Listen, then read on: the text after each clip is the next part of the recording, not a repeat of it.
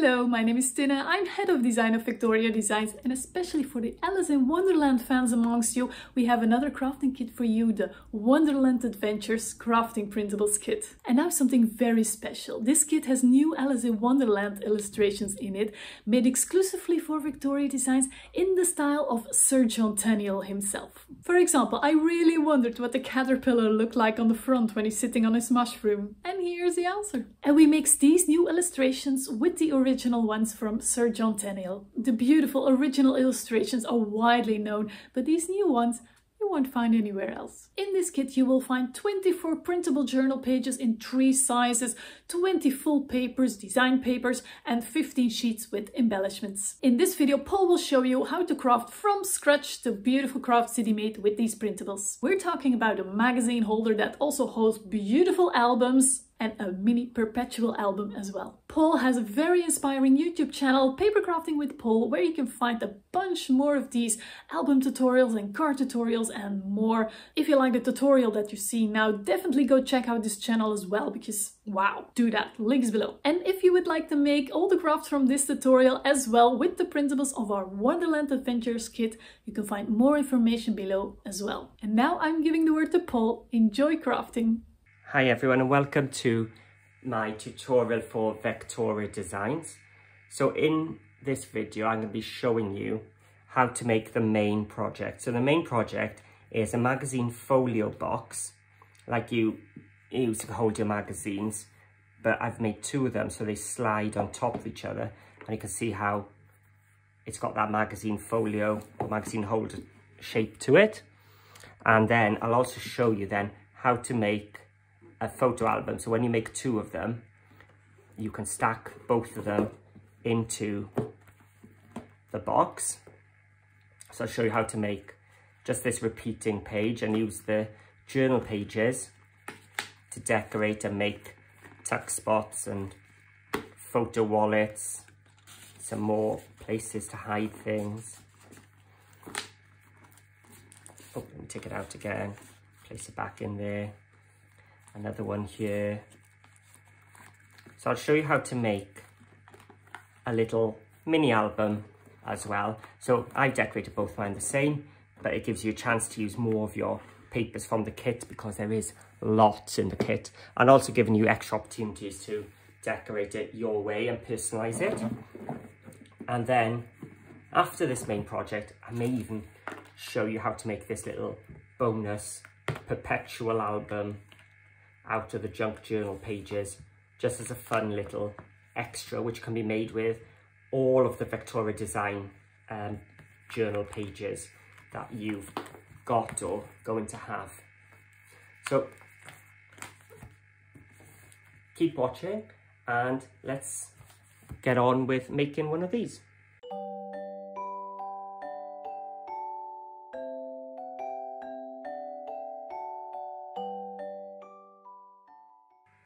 Hi there and welcome to the first part of our project using the Wonderland Adventure Papers by Vectoria Designs. So we're going to start today by making the magazine box.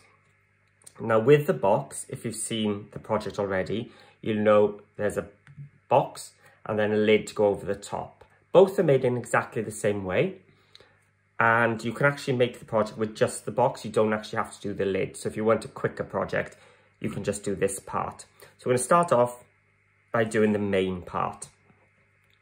So we need to start with our box base, which is three inches by seven inches. And there'll be two sides. And so we need to cut two of these at seven inches by nine and a quarter. So you'll notice that the sides, the shorter side is the same as my base. So they'll be going on like that. Then we need a back to the box. Now, if I did it the same size as my box base, it's going to be too short then. I want it to come and because as soon as I add these two sides, we've got that extra width. So the way I do it is, I've got the three inches across. So it's three inches plus two lots of your width. So whatever thickness chipboard, grey board, whatever you're using, whatever thickness it is, to your three inches, just add two lots of width. Now I'm using one and a half mil chipboard here. So I'm adding one eighth. So I'm cutting mine at three and an eighth by nine and a quarter. So it's the same height as the sides. And then the front, again, is three inches wide plus two widths. So I'm cutting mine at three and an eighth by five and a quarter high. Okay. So let's grab the size first because I need to do one little thing with these before we carry on. To get that magazine rack shape, I'm going to be marking four inches down the side here. Actually, let me grab a black pen, you'll see it a bit better. So four inches. And then again, four inches across, starting the top right, going left. So it's four inches down and four inches back. And I'm just going to join those two lines up.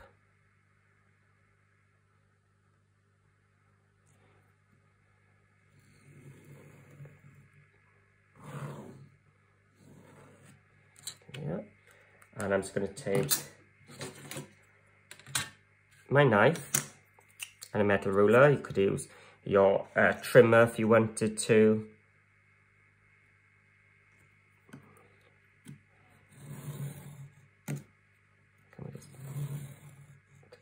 Gently. I did forget to bring my cutting board, so let me just bring my other side in. Now I've gone through a couple of times short, so now I can just follow what I had.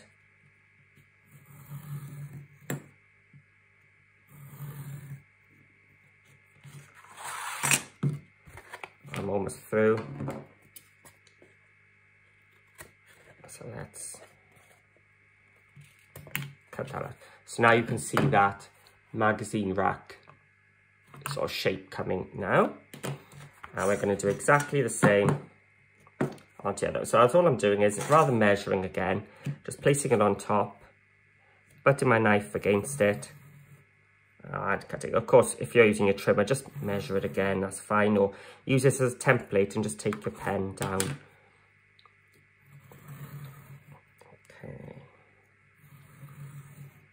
I'm almost through. I just take my knife and fin uh, scissors and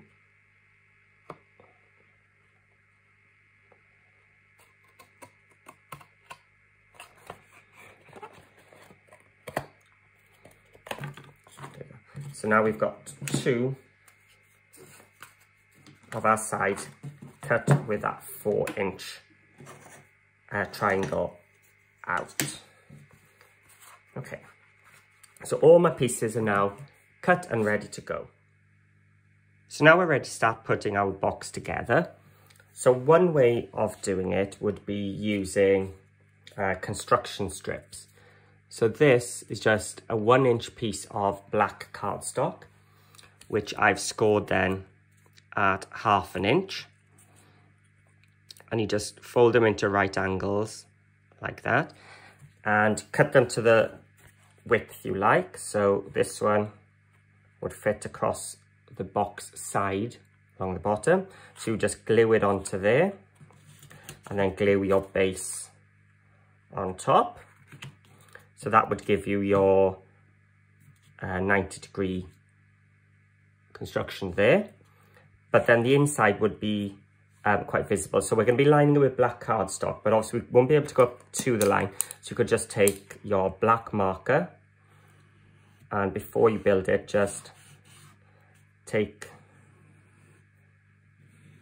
your black pen around the edge and then we could just line up on the inside. So just go around all the edges before you build it together. And then when we come to line it, it won't matter so much. So that's one method, construction strips. But the method I prefer is using some construction type tape. So this is just uh, frame tape. So I got this from uh, the Cool Katz. So I'll add a link below so if you want to get it. It's quite a papery type material and it's good for construction. You can use it to attach it together. It's acid lignin free, so safe for our papers and things. So I'm going to grab my scissors and we're going to just take the base and we're going to cover it in tape. So if you've seen some of my other videos, you'll have seen me using this tape many times, but if not, don't worry, I'm going to take you through how to do it. So I've just pulled my tape, I'm just sort of weighing down just off camera there, and I'm taking my base piece here, the 3x7 one, and I'm placing it down the centre of my tape. So it's half there and half there. And I've just given it a wiggle to get it to attach. And I'm just lifting it up and attaching that short side. Now I need just to pull my tape a little bit more. Keep it nice and tight. And place my third side. And then the next one and then just enough to overlap on the final side. So I'm just going to cut it off.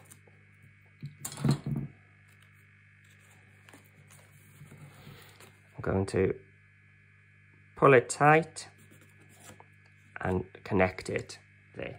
So now it's going all the way around, touching all four sides. I'm just going to pinch the corner so I can see a little line. Just give them a little pinch, top and bottom. So when you're not on camera, trust me, this is much easier. But trying to get it in shot is probably trickier.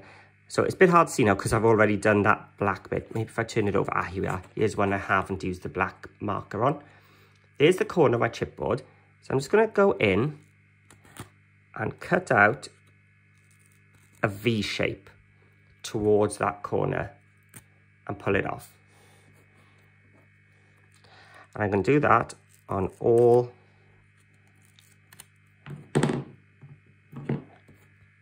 for the top ones. So this way you've got to make sure you don't put it down because we haven't done the bottom part yet.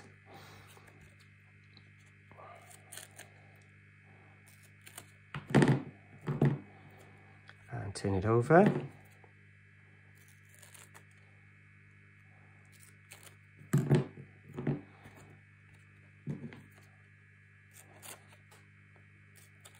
So I can't see with the black on black there. You'll see it maybe a little bit better when I do the other ones.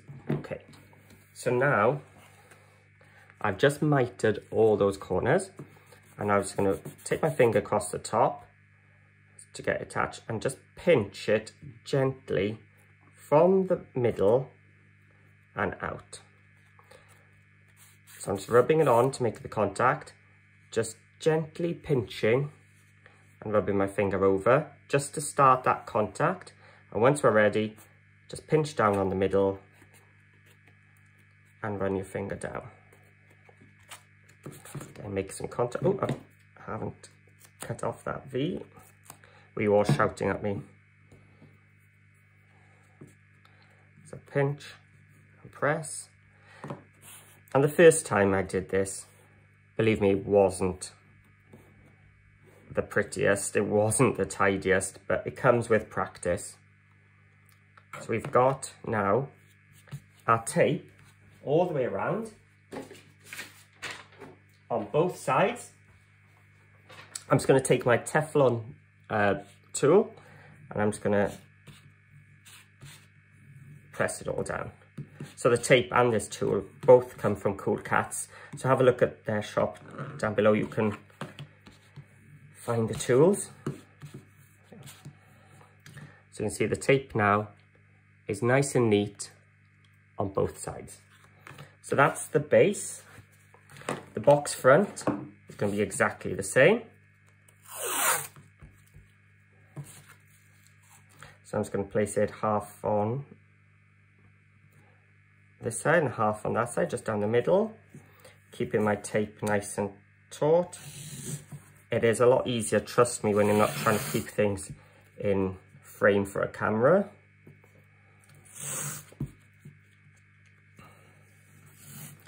And then just trim off. Pull it over that corner, make the contact there. Then we're just going to trim the corners. So if the triangle sticks to your uh, scissors, which it inevitably will, get in the habit of taking it off because otherwise it will stick to the next bit you're cutting. I tried doing it without taking them off once and it wasn't pretty.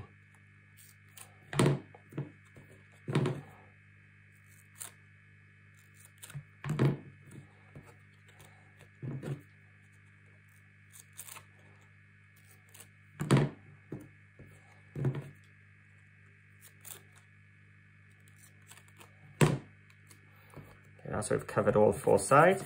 Again, make the contact, pinch a little bit, then start from the middle out, make the contact, pinch, and take it out.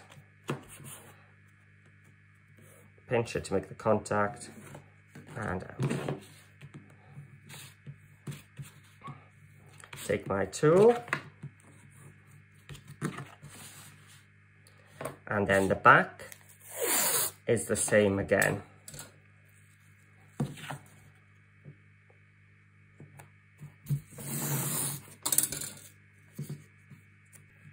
Okay, and just. So if you did have a little crease or something, your Teflon tool, your bone folder, it'll get it out.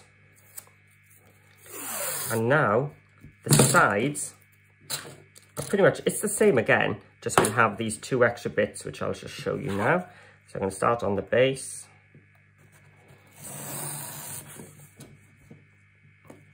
See, one of the triangles has found his way on. So we're going to half on there, just the little... So I'm just using the corner of my table, which you can't see off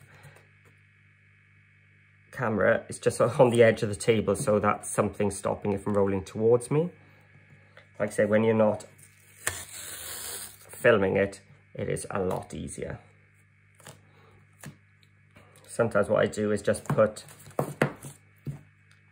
um, my other scissors just in the middle just to weight it down.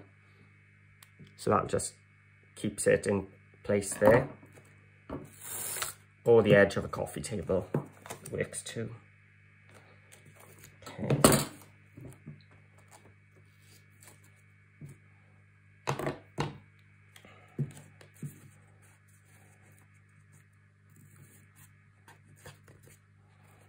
There. So we're just going to pinch those corners.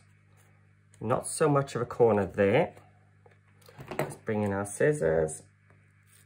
Let's do the 90 degree ones first because we know what we're doing there. We're just going around as before, cutting off our corners. So if you're using the construction tape method, uh, construction strip method, this is obviously all right, you're just taking your uh, black pen all the way around just to hide the workings of the inside of a box. So that's all this stage is doing It's just giving it that nice little finish.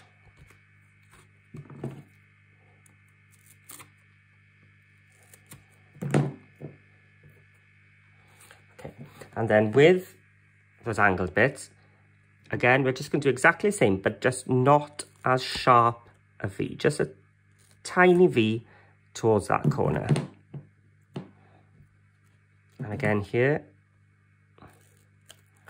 just a tiny V. Or if you just want to go straight down, you can.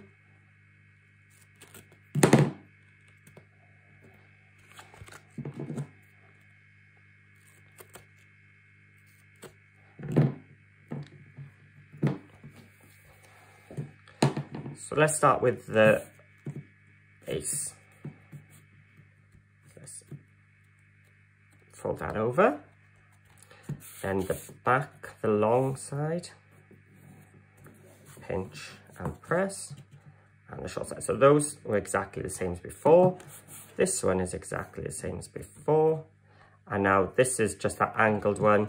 You can see by making those V's smaller, we, we get a nice finish there with the mitered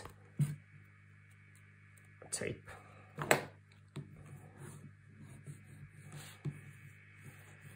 And then just burnish it all down. Let's get rid of that little triangle. And the last piece now is our other side.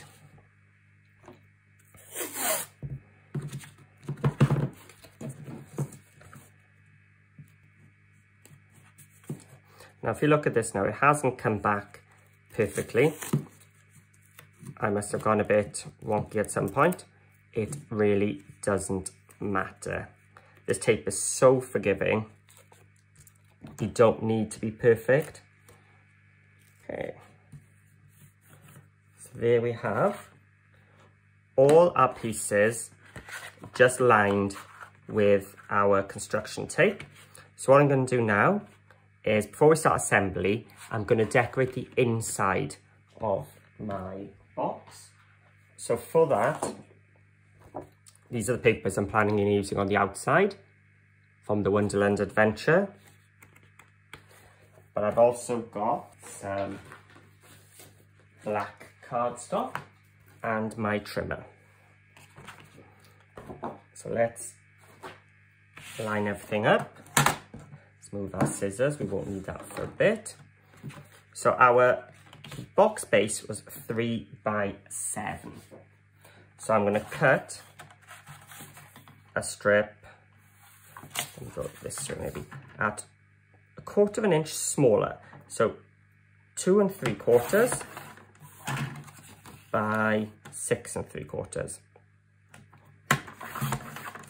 That's going to line my base. Then my front, I can just use what was left over, I think. Yep, on my front.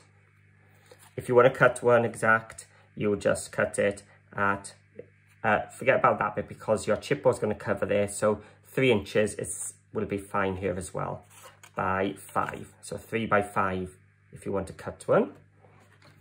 Then we got our long back. Again, two and three quarters.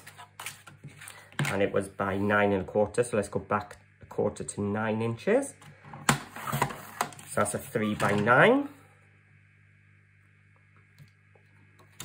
And then we want two pieces and be brave and cut them at the same time.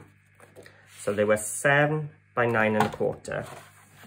So let's look at seven. So we're going back to six and three quarters by 9.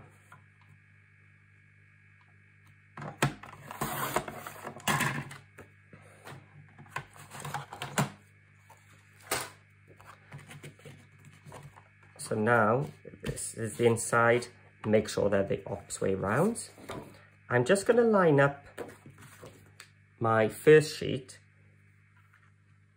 with the little black border around all three sides but obviously you can't see any chipboard there because we're going to cut it across. Now for this, I will need a pencil, which is, ah, here we are. I knew I had one ready. So here's the edge of my chipboard. So I'm just going to come in a little tiny bit and a little tiny bit there. And join them up. Do I'm going to risk it. I'm going to cut them together.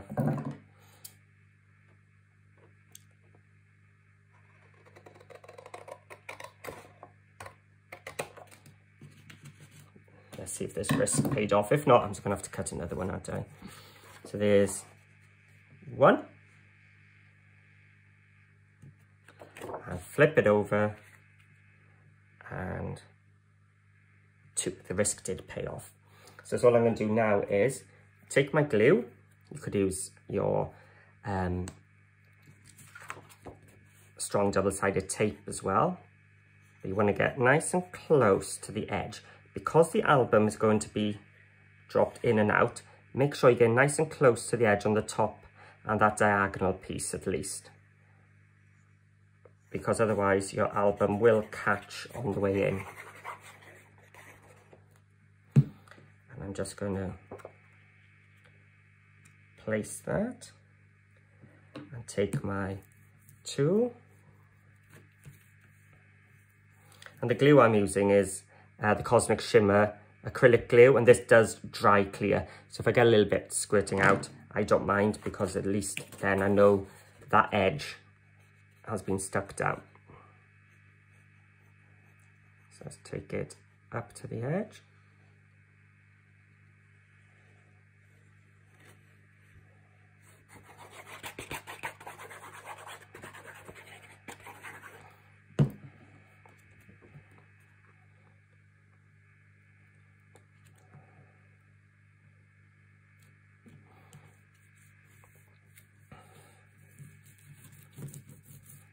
go.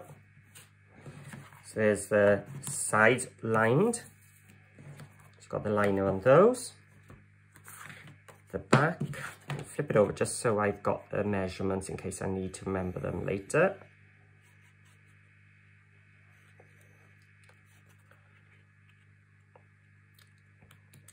Now, with this one, you'll find that you've got a bit of extra here and here of the tape showing. That's because the chipboard is going to come and cover from here to here and here to here. So that's why it's a bit narrower.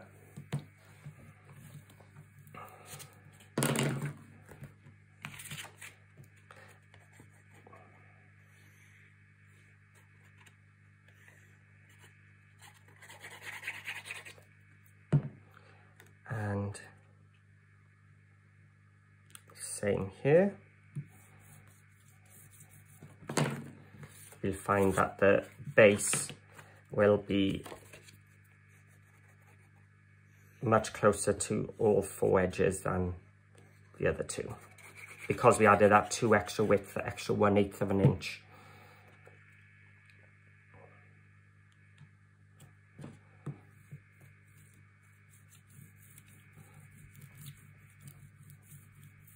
There we go. So we've got the base, the front and the back and the two sides all lined in our black cardstock. So it doesn't need to be thick cardstock because it's just there to tidy up the inside. So normally now I would let these dry a little bit, but let's get going. So this is now where you would start using your construction strips and you would build, yeah, here's the long one, so if you're using your construction, strip, construction strips, what you want to do is just cut off the diagonal, otherwise you're going to end up with lots of bulk in those corners. You would glue onto the base first, because this bit now is going to go there. So glue, sorry, glue onto the side and then slide your base on and stick. Okay, you don't want to be putting it base and then because you're going to get that extra one and a half mil high and your fronts will be um, different as well then because it'll be too wide because you've come in half an inch, uh, one and a half mils from each side. So that's three mils, so it's quite a difference. Okay, so stick the side stick the base, take the next one, oh, stick it to the side, and then stick it to the base. And what you can do then as well with your construction strip is if you score at half and then an extra one eighth, you'll get a very thin U shape and you can use that then just to neaten any edges which will be exposed at the end. Okay, but because I'm using the tape method, I'm going to grab the tape and I'm going to grab and prepare the base piece. Now this is the inside, so this will be on the outside. So what I'm going to do is work on the outside and I'm going to take a strip, which is about an inch wider on each side and go so my tape you can see is half covering the chipboard and half exposed there. Now mine has folded over here. Don't worry, I can use it now because a lot of this is going to be, of the edges are going to be cut off. So again, take a long piece. I've gone a bit longer this time just to get rid of that folded bit there. And I've got it half on the chipboard and half off. And now I can find the end. I'm going to cut a piece just a bit longer than so if you're going to turn it over and put it on just be careful because that sticky is exposed so I just find I lift it and drop it on works and here again.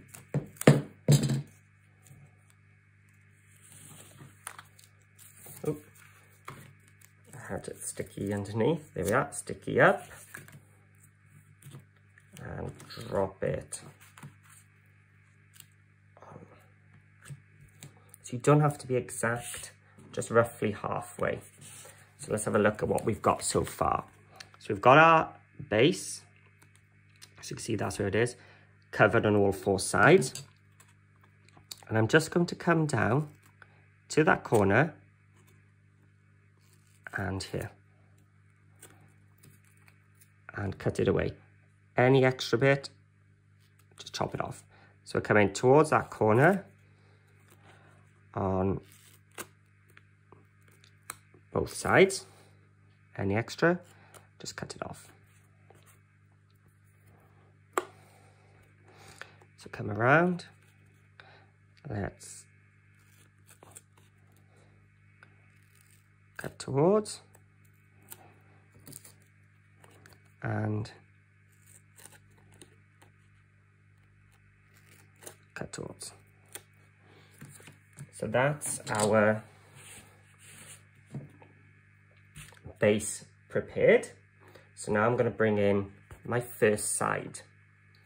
Now what I'm going to do now, I'm going to take my side, making sure the cover bit is towards the inside, and I'm just going to line it up, touching the edge of my base. So making contact all the way down.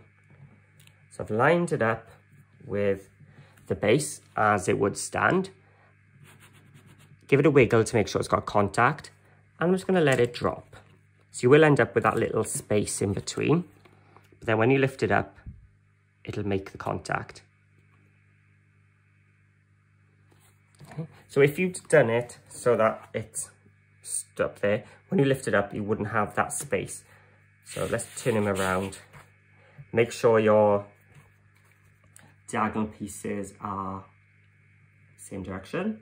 So I'm just lining it up, touching that chipboard base hit the bottom now, so I'm just going to wiggle it. It's made contact with that tape and just gently drop it down.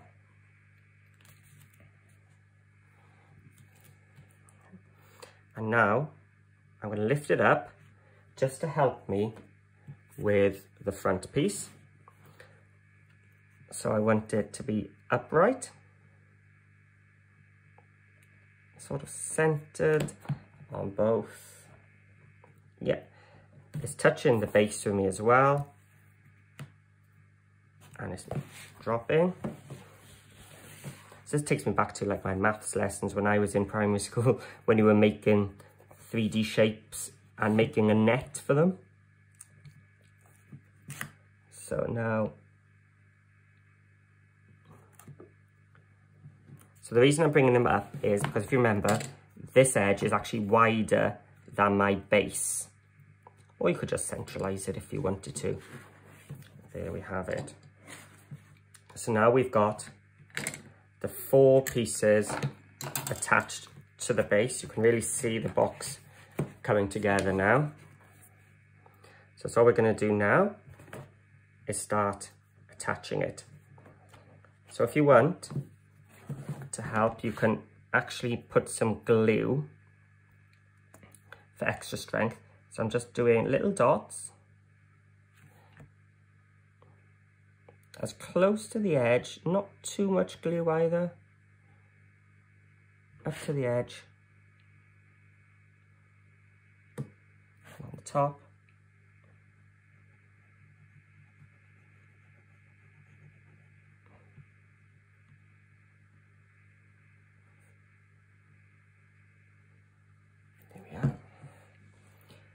And before I bring it up, I'm just going to cut two short bits of the tape. Just place it down, to pick it up in a second. And I'm going to use them just to hold things in place for me. So I'm going to bring it up. Line up the top here and here because that's the bit you're actually going to see, which is going to be quite visible.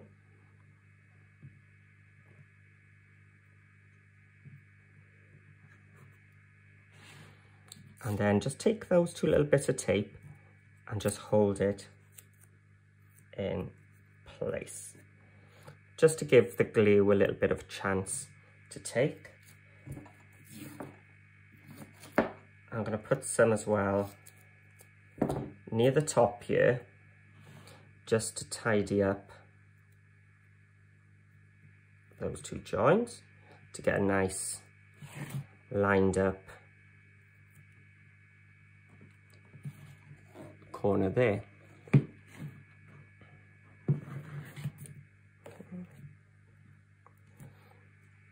And we're going to do the same now.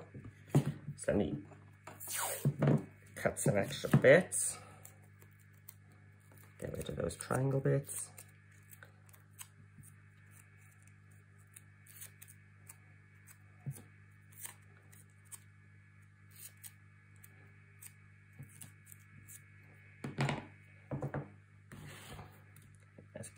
Glue.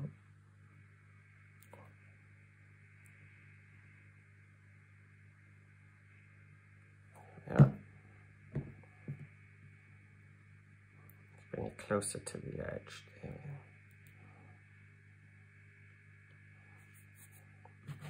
And lift and attach. Yeah. So let's just take those bits of tape just to secure it in place for now.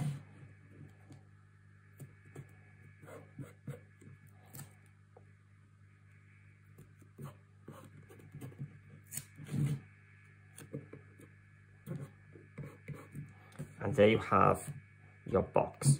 So you can finish there, or if you want to tidy up your edges a little bit more, what you can do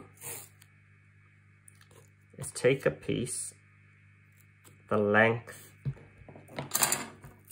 of your project, whichever side you're doing. This is the non-sticky side facing you now. Fold it up, cut a mitre, and again, just cut a mitre to the edge.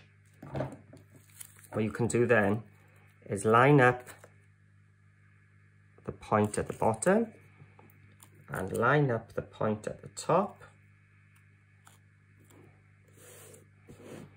and then just fold it over. So this will just neaten off those edges for you. So let me see if I can show you. This is what it looked like before. So there's like, you know, it could come loose there. But now you've got you're totally covered there. So let's do it on this one. So I'm just gently placing it on.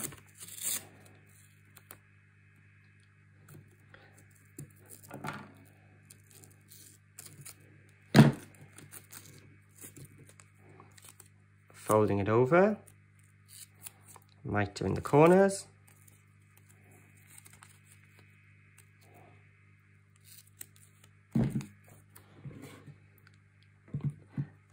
One we're working on.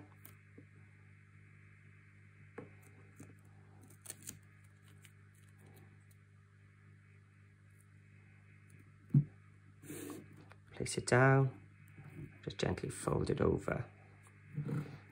So we've just neatened off those two sides. You could have taken off your um, bits you used earlier to hold things in place, but you don't need to take it off. And now do the same with my front pieces.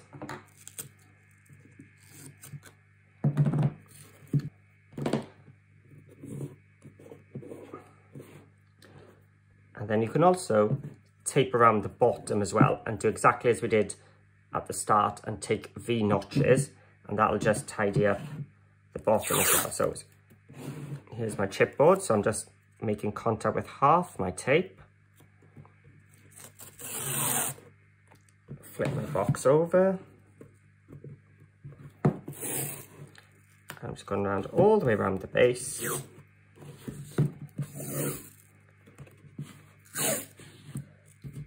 A little tiny bit of overlap. And bring it in. If it's not even, don't panic. It doesn't need to be because most of this is now going to be covered in our decorative tape anyway. So just as we did start, we're just going to come in and cut those V's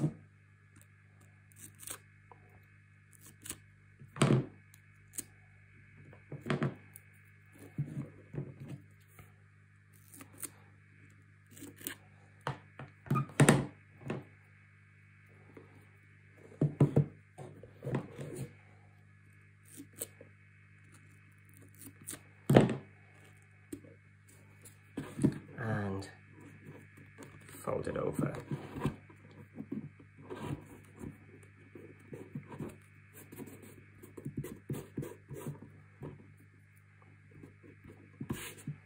And there we go. That is your box base magazine rack made. And you could just leave it as it is and just put your albums, which we'll be making later, straight in. So it's the room for the two albums. Or if you want to make the full kit and make the lid version, it's actually built exactly the same way. So what I'll do, I'll give you the measurements. So this time, everything is a quarter of an inch bigger in each direction. So our base originally was three by seven. So now we've got three and a quarter by seven and a quarter. With the sides then, seven and a quarter by nine and a quarter. So that'll be our two sides. Our front then will be three and three eighths by five and a quarter or three and a quarter plus the two width. So if you wanted to just measure, put those two in place there and just measure across, that'll be the width of your front. Same with the back, which is nine and a quarter tall. And again, to get my magazine shape, I'm going to be measuring four inches across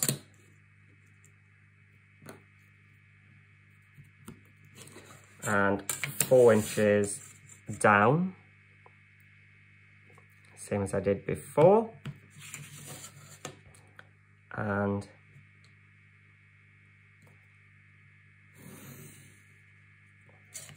cutting those off.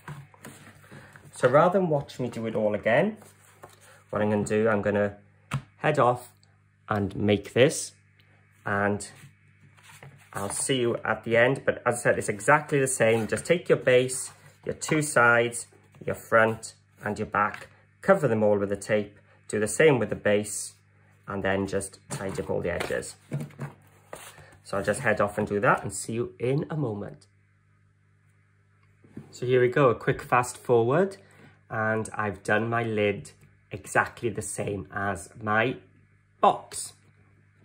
Now if I turn this one over, the box one over, you will see it's the same height, but the width is slightly shorter and it's a bit narrower too. So what that means now is if I have my box like that, I'm actually going to turn my lid upside down and flip it over. So now my diagonals are the same. And what will happen is they will now slide into each other. So what you get is a magazine rack with this little triangle exposed of the box like so. So when you're decorating, make sure you've got your diagonal upwards for your box and the diagonal towards the bottom to decorate the lid. So let's have a look at some of the papers from the kit. So originally I was thinking, oh, I might use this one because I thought the border would have looked really nice along the bottom. Going around, so you would have seen it poking out. So that would, would have been a nice option. And there is a paper which goes that with some images as well. Some more kaleidoscope type paper. That would have been a nice plain one for the base. Then there's this one with Alice, which has got a bit of purples and some of the wording. So I think this would be the one I'm going to go for because it also has a matching paper with the white rabbit in the corner. So what I've done, I've just printed a bunch of these. So I've got two with the rabbit on for my lid. And then just the backing paper then for my base. So because it is a DigiKit, I want to print out, I have got this white border, which I will need to get rid of before I start measuring. So let's have a look. So we're decorating the base first, the box part.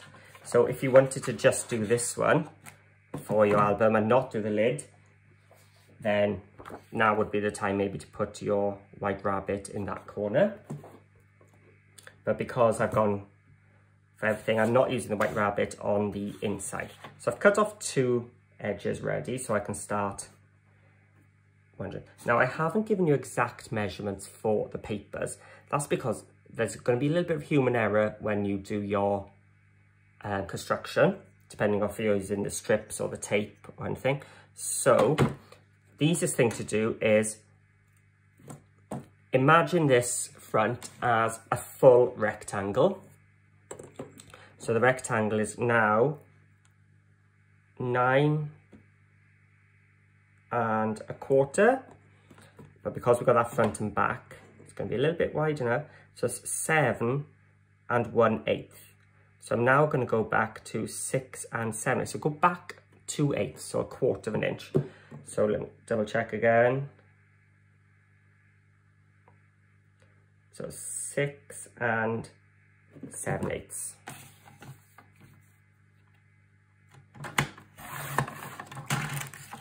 And again, double check the height.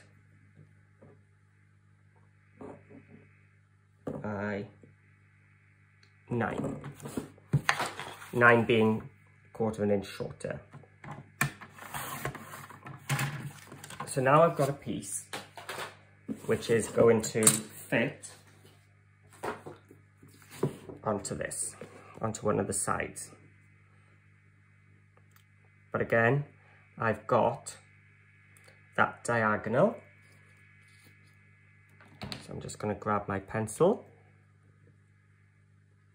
and I'm going to mark, here's where my chipboard is. I'm going to come back just an eighth of an inch and there. So let's join those two up. Oh, I can't find my pencil mark. There it is. See it now.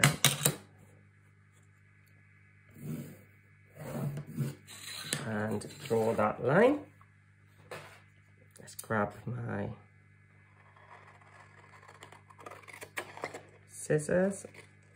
Of course, you could use your trimmer if you wanted to. So now I've got a piece of paper which will mat nicely onto the front there. If you find it, you're not happy with the angle, just change it a little bit, you know, just go back, trim a little bit more. Now, it's just my thing, like thing to do is to take my distress ink and I just take away that white edge of the paper. Because I've used my trimmer,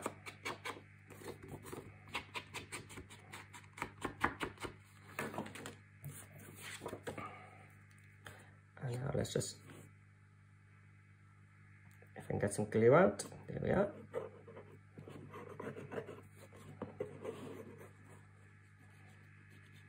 So yeah, this project is quite large. It's making it tricky to get it in shot all the time. Also going to put some glue onto it because I don't want it coming off.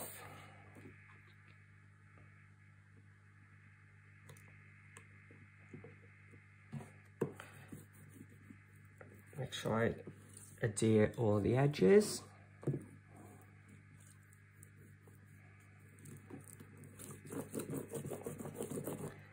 And can even turn it over and burnish from the inside. So just be aware that when you touch your top, it's anything that's in this bottom left hand corner of this side will be visible and the bottom right here, opposite to the diagonal. That's what you're going to see. So if you're going to put anything interesting, you want to put it there. So I'm going to do exactly the same for this one. Now, just because the other side was one side doesn't necessarily mean that it's true for both sides. Again, human error. So I am going to measure my box and take quarter of an inch off. So it is nine and it is just under six, seven, so six and seven eighths. So nine,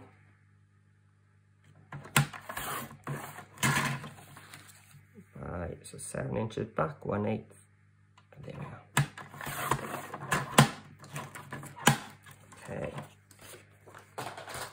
and again, I do have that, I, I better use my black pen, I might see my marks a bit better. I'm lining it up getting a nice even border around all the sides I can see. And, oh, no, this is hand, so I may struggle to see that.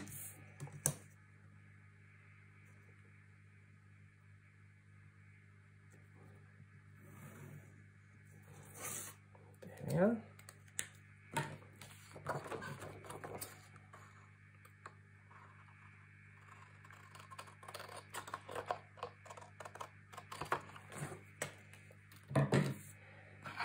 Then just take my distress ink.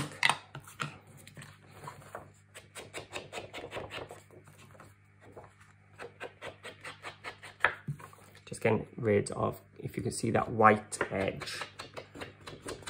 Because when it's up against the black tape you can see it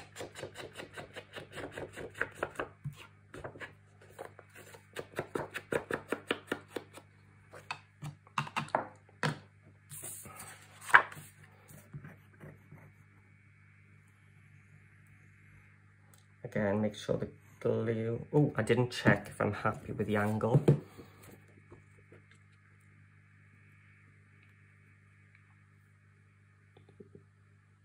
Yep, that's fine.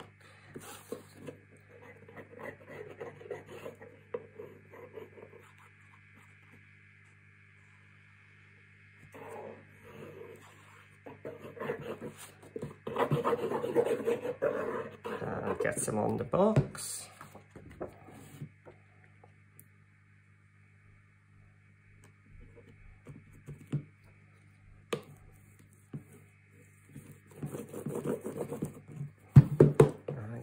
Inside so I can get it nice and flat. And that's what's good about the Teflon tool is I can really rub on my black cardstock on the inside and it's not going to mark.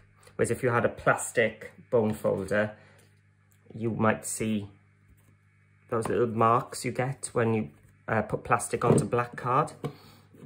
So yeah, definitely a Teflon tool is something to invest in. And now let's just get the back. Sheet. So let's have a look how wide we were. So I mean out here, we've got that extra width, wasn't it? So it's three and an eighth. So I'm gonna go two and seven eighths.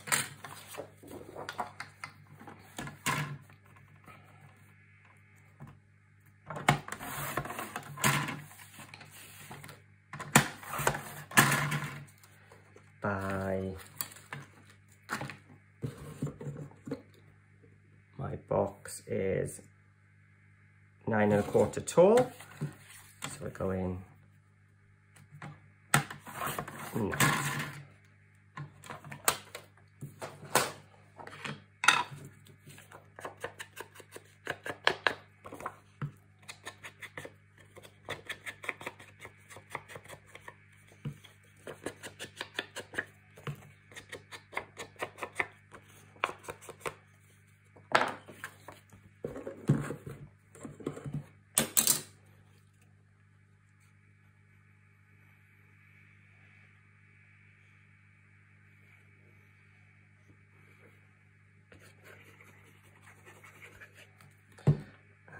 going on. Let's make sure I got the text the right way up.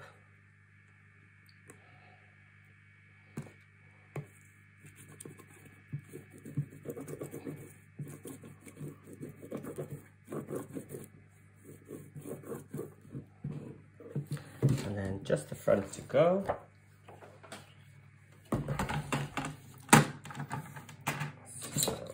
again, measure my box just to make sure yeah, two and seven eighths is fine.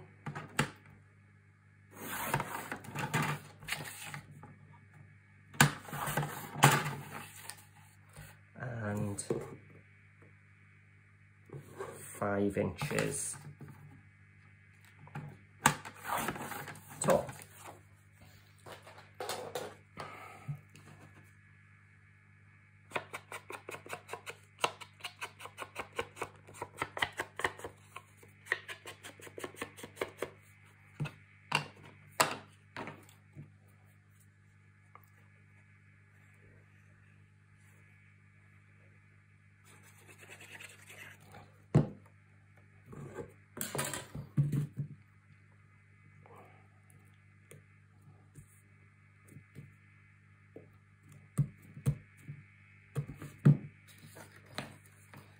and grab my Teflon tool. So now we have all the inside decorated or covered in black, all the outside covered, covered in decorative paper, just the bottom to go, which was um, a three by seven. So let's have a look if I've got any of my scrap bits, which would cover, do you know what? There we are, that bit. We'll do fine. Of course, you could use some of your decorative paper if after making your albums and things later on, you've got a spare piece left over, you can decorate it. But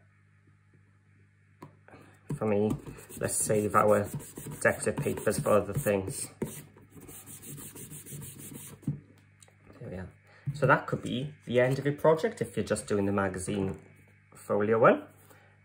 But what you've also got in the kits, pages with some ephemera pieces. So if you wanted to add a little nameplate or something to the front of the box, just keep it nice and flat.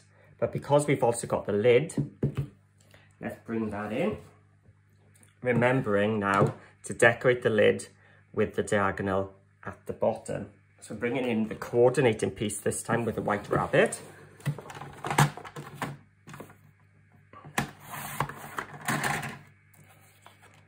Just do it on this side first. Let's measure the height. So it's nine still. The sunshine's coming out, so if there's glare now. So nine inch by it's seven a, just less than seven and a half. So if I go just under seven and a quarter,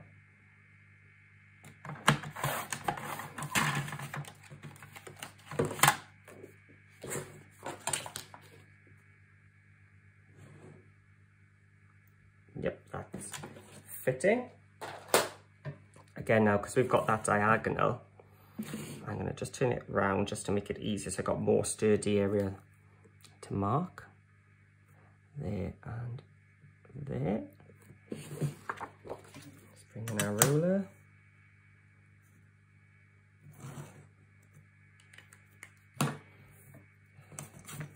Oh, the sun really is coming up now.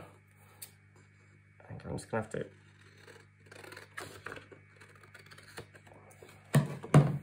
Again, taking my distress ink.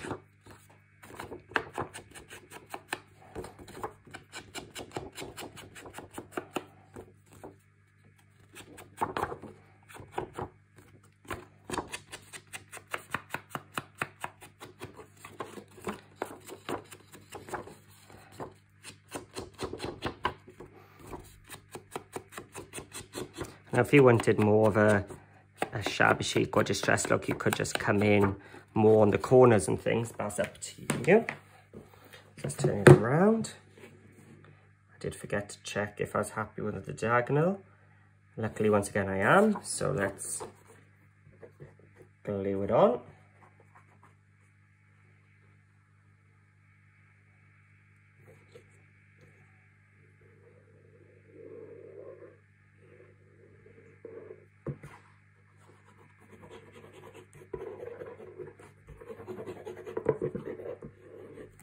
Okay.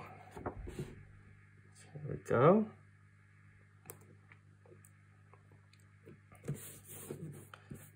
One side. Done. Let's turn it over. Get nice and firm. And so this one, I wasn't sure if I was going to use it or not because you're only going to see his head. But I thought, well, it did add a bit of interest to the outside. So let's go with it. To cut off the white. And let's just check we are happy. It's nine inches again. Yep.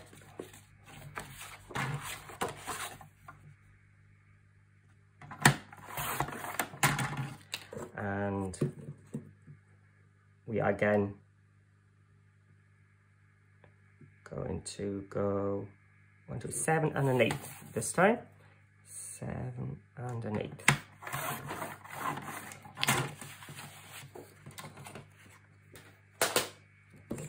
So let's double check we are happy with the black border. Yep.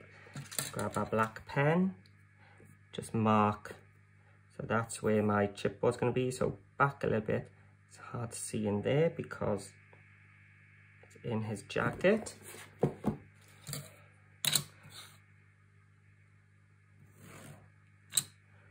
of just double check before I ink and everything if I'll be happy with this.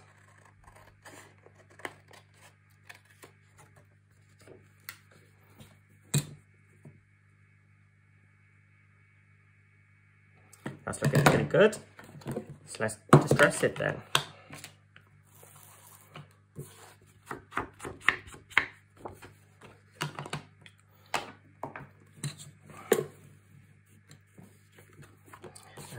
And make sure we're getting up to those edges.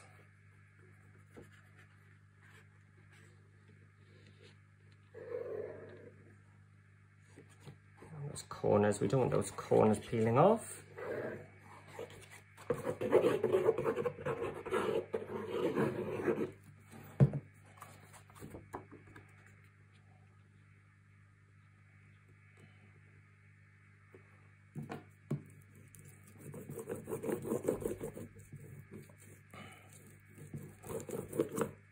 go and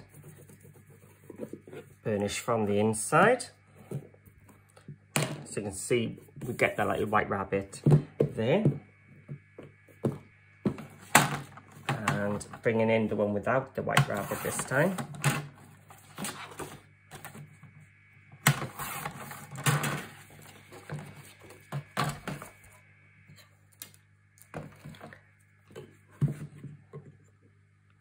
So we are three and one, two, three and three eighths.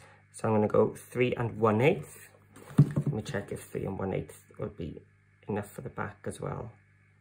We want it just slightly bigger than three and one eighth on the back. That's what I said, it's human error. So that's why I haven't given you the exact me measurements. That's three and a quarter, so three and an eighth. And three, did I say a little bit more than an eighth?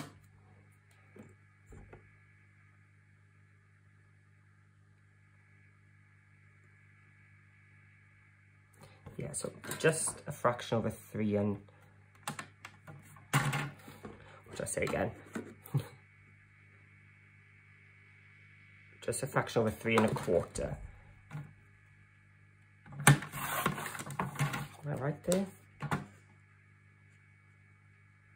Still a bit too wide, so let's come back onto three and a quarter then. I think I meant was a fraction under three and a quarter. Let's have a look.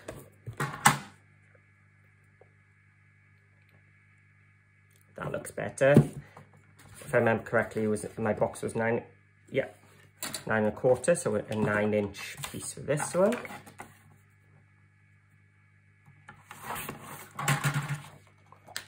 and the front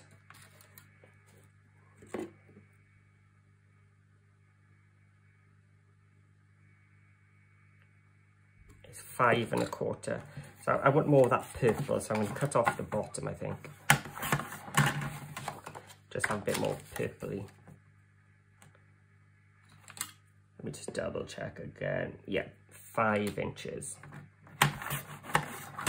All best to double check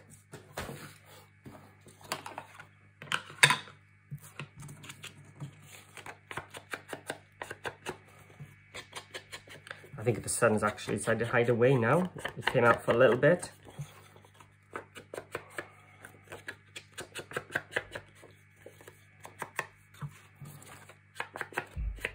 I have to be careful putting this one on, making sure the text is the right way up. There we go.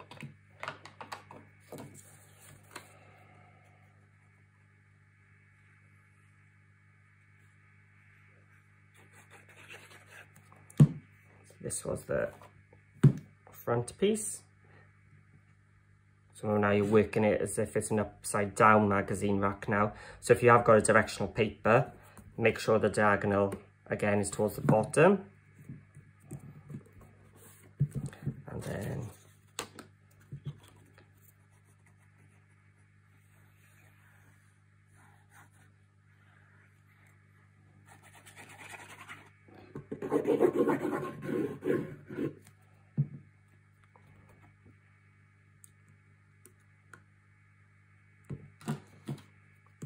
There we go. That's the last of the sides done. So all I got to do now is side. On the top, am I going to put a black piece or I'm going to print off another piece and have it. So I think this will be the front of my box, won't it? Here. So I want the text reading that way. Well, the piece of paper cover, yeah. So let's have a look. because it's got the start of the story, so that actually might work nicely on the top, which is three and a half. So I want a three and a quarter inch piece.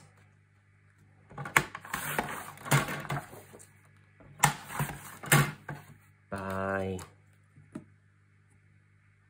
it's seven and a half.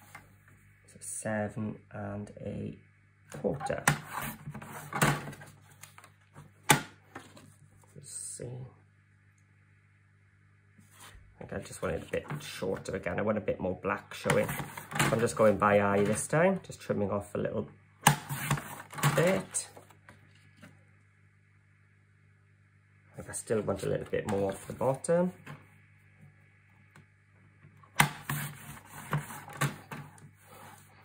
I think I didn't, I measured the size rather than the quarter of an inch smaller. There we are. So let's bring in the distressing for the last piece. Just add in the glue. So if I want this to be the front, I'm going to place the text so I can actually read it in this orientation. And just burnish it down. And there we go. Our Wonderland Adventure magazine box. Hard to get in shot in this orientation. I know because it's quite large. Again, you can make it with just that bit. It would still be quite a nice project. And now you're just going to need something to put inside. So the next part will be making some albums. Here's just an empty case just to show you. We're going to make two books to go inside which will then be covered with the lid. So again, in the Vectoria Designs kit, you will get lots more sheets and things. We're going to get some um, journal pages and some ephemera pieces. So if you wanted to decorate more of the outside of the box or the corners, because you could put anything you want there because the box isn't going to catch on it. So if you wanted a more 3D bit, put it there. But yeah, you could add your own pockets or pouches, but I quite like it. Nice and simple. As it comes, nice and flat, nice and sturdy, nice strong box. So thanks for watching part one. And I look forward to seeing you in the next part of the project. So hold on tight and we'll get on with the albums.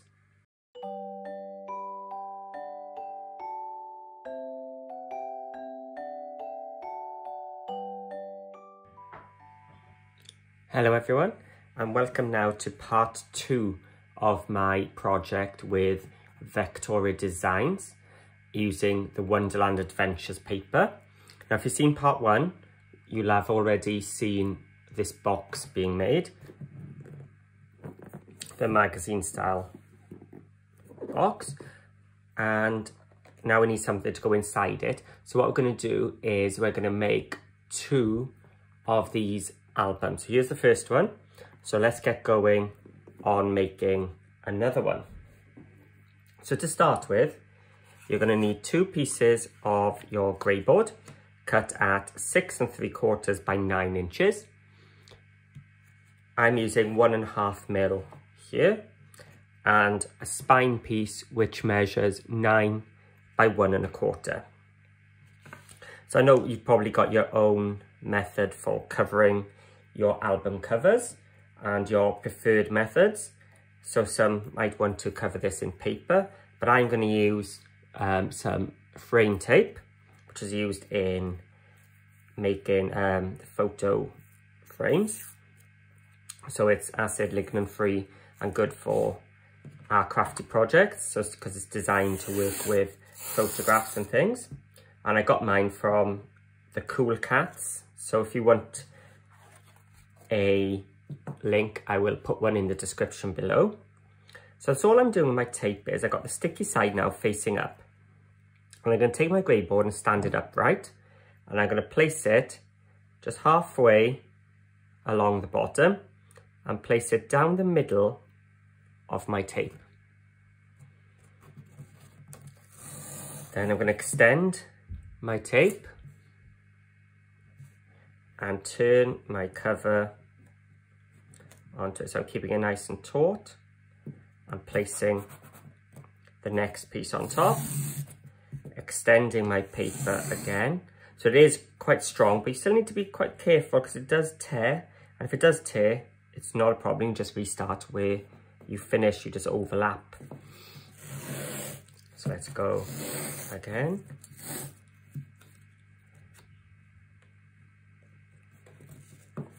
And then we're almost back. So let's just make sure we got a bit of an overlap. Let's cut off last bit. And now with this last bit, I'm just going to bring it over to meet. Now it doesn't have to meet exact. So there we have our tape just wrapped around the edge. So now we want to make sure it folds flat. So what I'm going to do, if I try and get one of the corners in view, I can pinch my tape so I know that's where the corner is. And I'm going to cut just towards that chipboard and then just cut the V out. Make sure I take the tape off, otherwise it'll stick to everywhere. So if you if I have a look at what I've done, that's my tape. So I've cut out the V just towards that um, corner of the grey board. And I just carry on going around all four corners. You have to be quite careful here because remember now your tape is still sticking out underneath. So just hold in the center of your chipboard.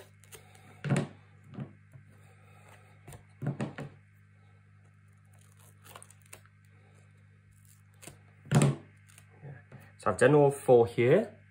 Flip it over and just repeat again.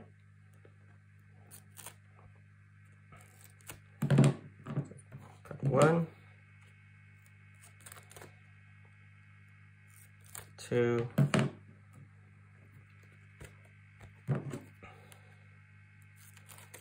three,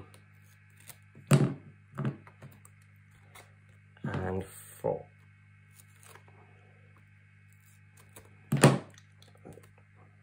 So now we've just mitered all those corners of our frame tape. So I'm just going to take my finger and I'm just going to run it along. So if you've watched the box tutorial, this is exactly the same as I did when we prepared all our pieces. I'm just sort of pinching the edge, make sure I've got contact, and then pressing it down by holding the middle and drawing out. So I'm just rubbing it on to get that contact, rubbing sort of over and back, just gently pinching it. You see that gives me a nice crisp edge then that way. Then I just pinch down on the middle and just pinch down and work out from the center like so. And again, just repeat on the long edges. So I'm just making the contact, getting that nice sharp one, and then pressing it all down. As I said in the box video, it does take a little bit of practice. Don't panic if it's not smooth the first time, because what you can do, just take your Teflon tool or your bone folder, and as you press it down to burnish it down, it'll actually flatten any creases, give you a nice, smooth finish.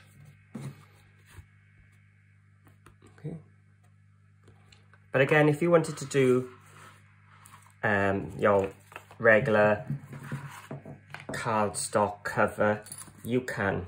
And I know Vectoria Design's got quite a few tutorials on how to do that way. So this is just showing you an alternative. So I'm to move this out the way. I need the space. So I can throw out my tape. So I've put a couple of wrinkles into it this time just to show you once you get your Teflon tool and you rub it, those wrinkles have gone. See that? Another couple of wrinkles here. So we're just going to use our Teflon tool and we got a nice smooth edge. Let's do all four. And the back. So we've got our two covers done. Now with the spine, you don't need to cover it all, but you will need to just take about an inch or so and just tape over the top and over the bottom. You will just see a tiny bit there, so we're just going to cover them up, burnish it down. So it's covered thing, so that bit is just to make everything nice and neat, to give us a nice neat finish. But this tape is also going to make our hinge. So for this, I find it easy if I just turn it that way. I'm going to cut my tape just with a couple of inches each side. I'll put this one out of the way for now. And I'm going to just lay flat on my table, sticky side up. And I'm springing my cover and I'm putting it so it's just running down the center of my tape. And now I'm going to take my spine and I'm going to line it up with the corner of my cover. Now when you're making your cardstock cover ones, you're looking for that double gap, the double of the thickness of your chipboard. Well, that's what I'm doing now. So by placing one on top of the other, I've made my chipboard double the thickness and I'm just tilting it towards me, pressing it on so I get some contact and bringing it down. I'm just pressing in the middle, not at the edge because I might squeeze my tape down. Then when I open it, just tease it back apart and bring it over. So now you'll see there is a space in between my black cover chipboard and my spine.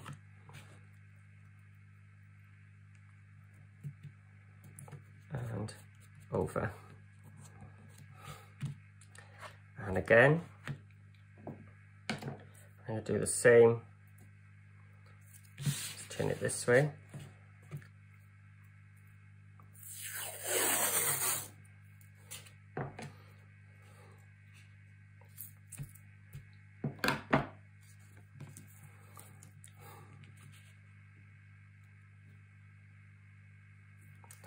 Placing it down the middle. Now I do now realise usually I only just cover three sides, the two short and the one long. I think I just got a bit carried away with the fourth side. You only need to do three because this black spine tape will cover the fourth. I think I got carried away because I was doing the box earlier. So I was, where I was covering all four sides. So yeah, you only have to do three and that'll actually make it a bit easier for you to see. So what I've done now is lined up my cover onto the spine. I'm holding everything together, pressing it, pressing it down, pulling it apart, and over.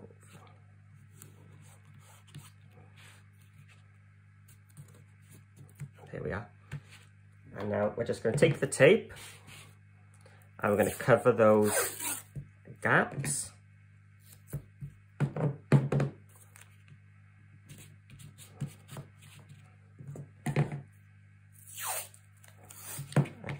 So this is why you don't really need to cover that fourth side.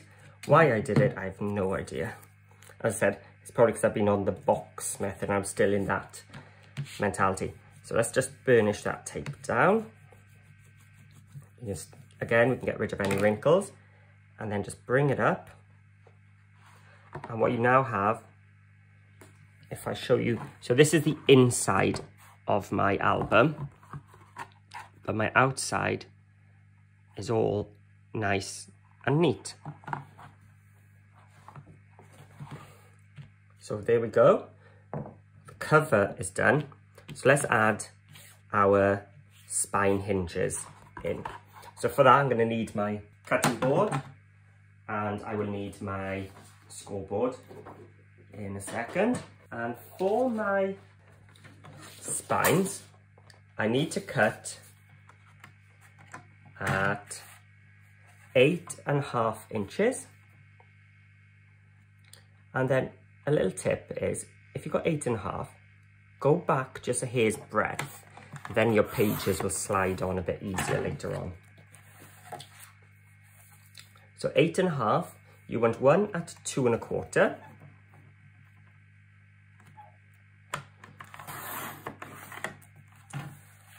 And one at one and three quarters.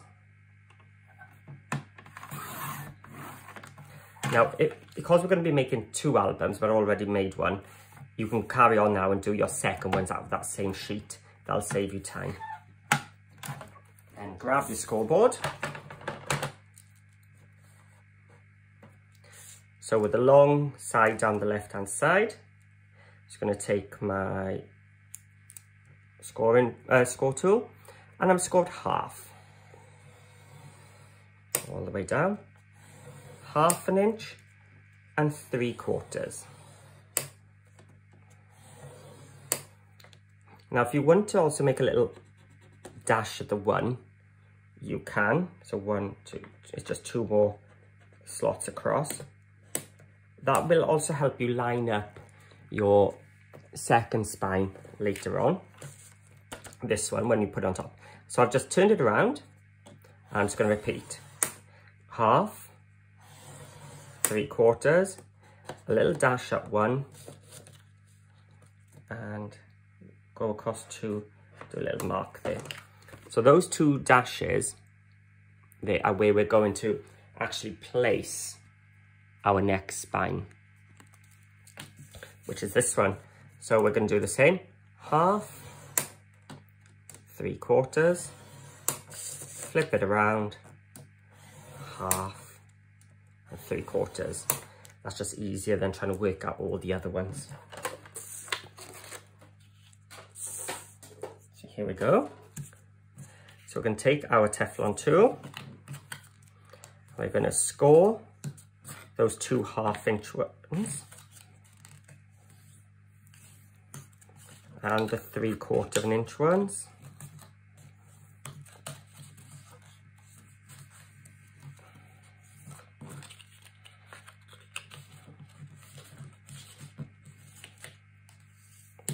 So.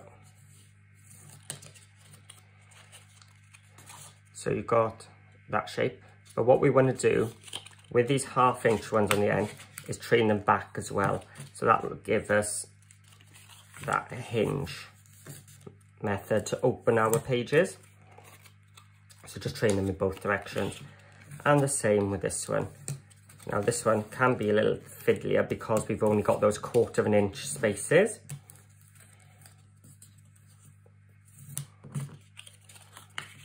Train it backwards.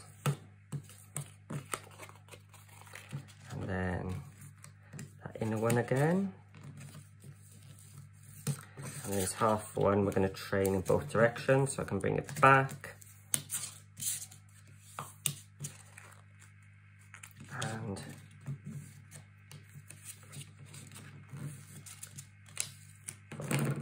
so what we've got is our U shape and then those half inch ones open out like that.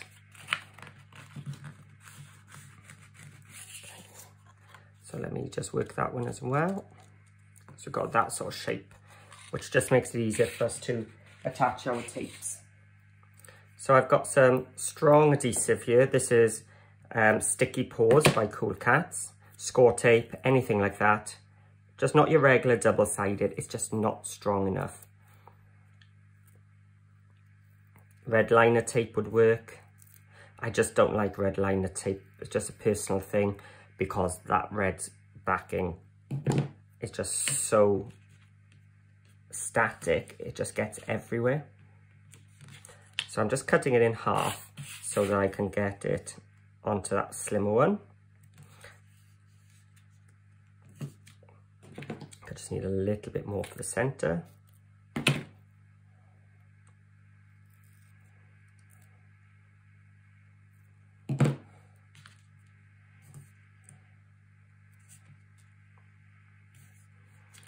Then take off the tape backing. And on my spine, I always add glue as well. So that tape is going to keep it in place for now. But a bit of glue will just make sure it stays there permanently. So if you remember now, we did those two guides. So let's bring it together. So my hinged bits are there. So when I squeeze it together to make that little triangle, if you can see it, what I'm going to do now is line up that triangle between those two dots, the two score lines, turn it over and onto the other. Now, because I was watching the camera rather than this, I have got some glue here, but it will dry clear. I'm using the Cosmic Shimmer acrylic glue, and it really does just dry. You won't notice it later on. Just want to be aware I don't get the rest stuck onto it. So now I'm just going to put more double-sided tape right there. Take it off. And so the reason I took the backing off before doing this was I would have had a tiny bit of overlap. So I took it off just so that I get all that contact. And some glue as well. So let's bring back our cover. So this is the inside. I'm now just going to hold it together and I'm just going to centralize it so I'm even top and bottom and left and right. It's looking pretty good to me. And there we have the base of our album all made. We've got our hinge mechanism in there and we've got our covers made. So I want that to dry a little bit. So whilst it's drying, let's prepare some of the cover papers. So for the cover paper, I've decided to go for this design here, just because it's got so much detail that it'll just cover my co uh, cover in one piece without me having to do much to it. And I don't want any bulk on it, so I don't want to add any embellishments, otherwise it's not going to fit into my box. So I went for this highly decorative paper, but I printed it twice to show you, that's for later on. This was printed with the fit to page method on my printer. This, I clicked off the fit to page. So what I've got is the whole piece, but I've got a bigger white above and beyond, above and below. So what I'm going to use is this one, but that one would also have fitted fine, but this is just a bit larger for me to see. So I've printed off two sheets and a trimmer. So the way I mat and layer anything in my album is whatever size the piece is, I just cut each side quarter of an inch shorter. So let's just start by getting rid of the white edge. So I'm going to start with the top. Okay. Now my album cover is nine inches tall. So of nine, I'm going to go back a quarter to eight and three quarters.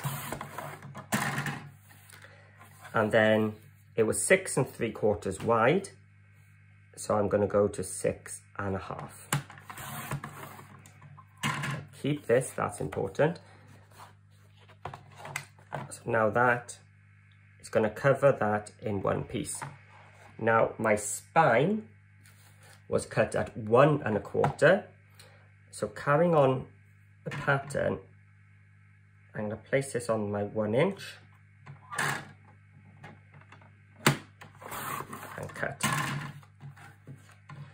So now you'll have that pattern repeat from there going around the spine.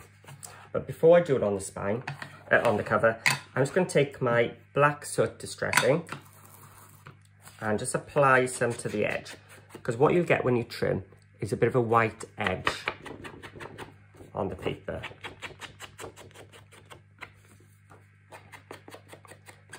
So this will just get rid of that because we've got the black tape and black cardstock later, having that black will just get rid of it. So now it's black on black rather than that white, which would probably catch your eye now and again.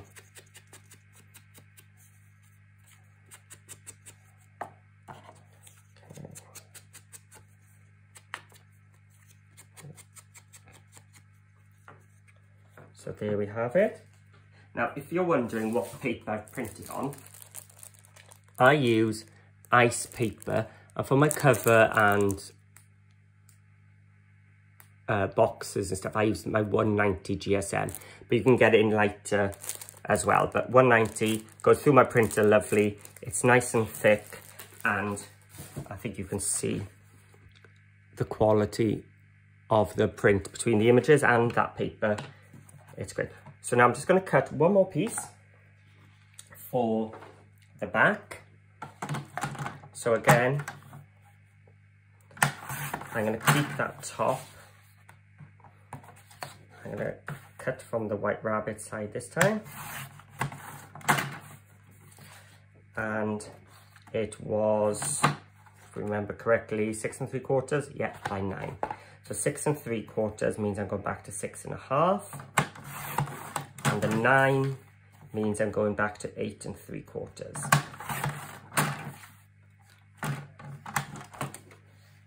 But how lovely would this paper be if you cut all these out and use them as cards in your album? So any of those tuck spots or something you make, you could use these as your own little cards, little journaling areas. Fact, I think I've got another one of these printed, spare one, which I might just do that later on. So let's bring it back. So this is the front.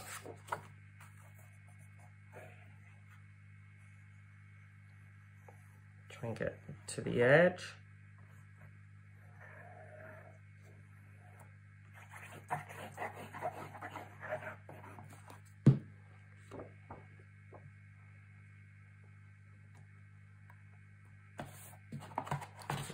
It up and burnish it down.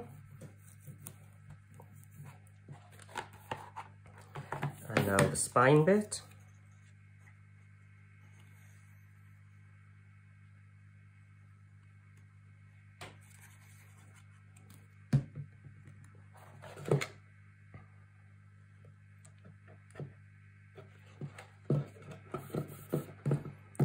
Okay, and just burnish it on.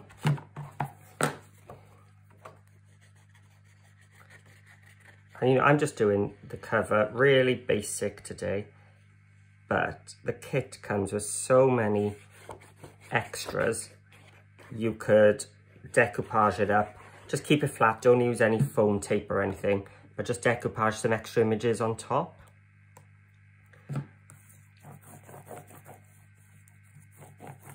So the main part of the Vectoria Designs kits are their junk journal page or the journaling pages, which are these.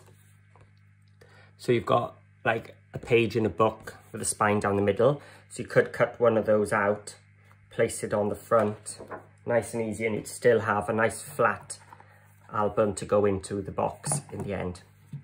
So there we have the outside of our cover done. So let's move on to the inside. So for the inside, I've done something a little bit different. Here, I've taken one of the pages and what I've done is shrunk it down to the size I want. So down to the uh, six and a half by eight and three quarters. So just shrunk it down in, I used Microsoft Publisher, Microsoft Word, whatever you got, whatever graphics package. So have a go. That's the great thing about Digis is you can make it fit your project. And what I did then, because I'm going to use the same image both sides, because it was digital, I flipped it. So now we've got two pages, but in the opposite direction. I mean, it did have some text, but I didn't think it was that clear that anybody was going to read it. to actually understand that it's actually backwards. So just be aware of that. Don't do something which has got a nice paragraph written which you can read. And I could just use my trimmer, but I find it easier with the scissors like this when I want to be exact.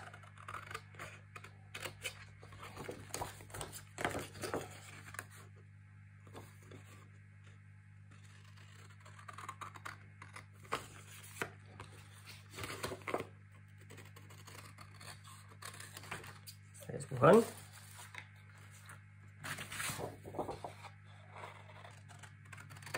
we go. So now you'll see when I put them onto my cover, you can see a little bit of the white showing there and there. So what I'm going to do again, just take my Distress ink. So if you can see the edge there, the white, it does actually show.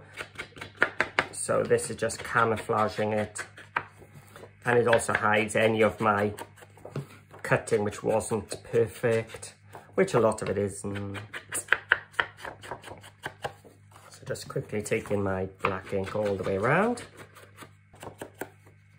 Okay, put the lid on so I know I'll get it everywhere. So let's have a look if we want Alice inside with them floating in. I think I quite like it like that with sort of the arch of the playing cards. Now, I've kept the inside just flat, but this is your chance here now to make it your own. If you wanted to add some pockets or something to the inside, go ahead. But I just thought these images were so lovely that I'm just going to go as they are.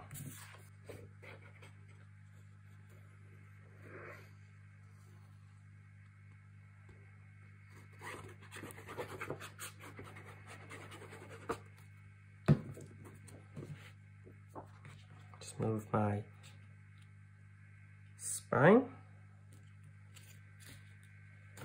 Get my Teflon tool in. So this just helps to um, spread the glue as well underneath to get that even coverage. Just wipe off any of the excess. There we go. And our cover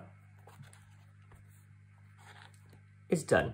So what we need now is some pages to go inside. So I'm going to put this aside and grab everything ready to make my pages. So to make the pages, I've printed off a load of the backing papers from the Wonderland Adventures papers. Again, onto my ice paper, 190 GSM, and it's the matte paper. So you can really see the detail in these images then. So I've got just a range of them. Look at that kaleidoscope of Alice and some nice little border pages, some large imagery. So I've got a little bit, oh, that's the one I used on the box, wasn't it? With the white rabbit.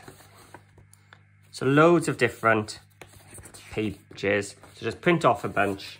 I've got my 220 GSM black cardstock, my scoreboard, which I can put away for a second, and my trimmer and my bone folder.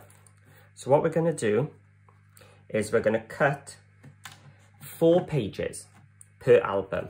So if you're going to make it all in one go, you're going to need to cut this eight times. Now I'm just going to make the one page because each page is identical and I've already made the others. So for each page, you're going to need two pieces of cardstock. The first one, you're going to cut at 11 and a half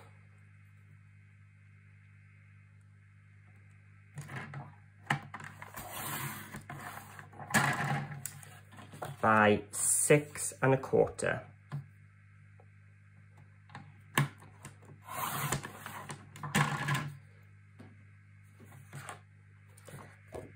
And then the other one, you're going to trim with the long side into your trimmer, just trim at nine and a half. Now I've then just used the A4 width, but if you're not using A4 paper, just cut it at eight and a quarter. If it's longer, it's fine. Just the pocket will be a little bit wider later on, so you don't need to worry about how wide it goes. And then, as I said, you will need to cut those. Uh, you'll need four of each per album. So let's bring my scoreboard back in. So with that long, narrow piece, let's score with alongside 11 half at the top, I'm score one and a half. Then I'm going to flip it around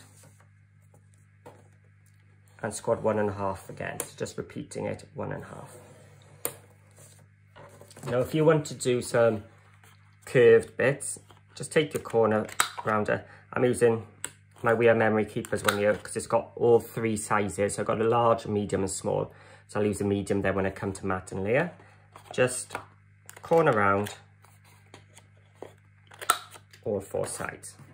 Put them in the bin. Now with this, I've got my eight and a quarter along the top and I'm going to score at six and a quarter down.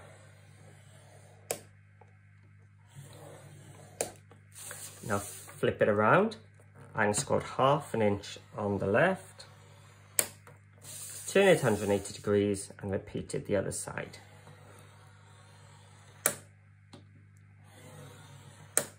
And then repeat that on all your pages. So it becomes a bit of a uh, an assembly line really. Okay, so you won't, can't really see the score lines here yet, but with this one, that's all we're going to do is just fold the two, grab your Teflon tool. So the reason I use my Teflon tool rather than a plastic bone folder is it doesn't mark the black cardstock. Have you noticed if you're using a plastic one, sometimes you get those like white silvery marks. So that's all I do. I use my round bit just to start it off. Then I turn around to the sharper bit to get my sharper crease. So that's that one done. Again, you're going to do it on all four of yours. And then I'm going to attach my tape. So if we have a look, what I've got is my small pocket one here, this side of my score line and these half inch ones top and bottom. So I'm going to place my tape within those half inch pieces. So I'm starting along the long one and I'm stopping at the score line. And again, just up to that score line. Flip it over and I'm going to do it on the, from the score line across that shorter bit top and bottom. And now I'm going to cut the V up to that cross. There's a cross with the score lines. Just chop it out like that. And again on the other side, chop it to the cross and from the other side. Okay. So this time we're going to fold this back, start it with the curved one, then get my nice sharp one. And again, curved, curved side, and then, and this is also burnishing my tape down. I'm going to flip it over, and I'm going to pull back those tabs, so that's now showing me where that double-sided tape is. And then when I fold this here, that's what's going to create my pocket. So let's get it all nice and flat. And there you have it. So what I can do actually is expose this tape. Let's get it pressed down now.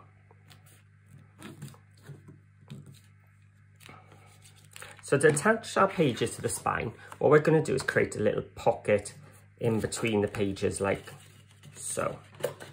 So then we can slot that over our spine later on. So I'm going to just expose a little bit just by folding my tape back. And I want this pocket, the folded edge of the pocket, to my left. Now I'm just going to line up this page with the flaps facing me on top. Hold them down. And now I can just peel off that tape. And now it's stuck down. So by only exposing a little bit, all of this, if it wasn't in the right place, I would have been able to move it easier. Whereas if I'd taken it all off, I've only got that one chance. So now we've got our pouch with two flaps here and a pocket here. So the reason we had it like that rather than like that is if that's in your album and you're, you're opening up your album this way, everything would fall out here, which I have done. I did one of the pages um, in my example, uh, my first prototype back to front, but there is a way we can um, salvage it, which I'll show you later on.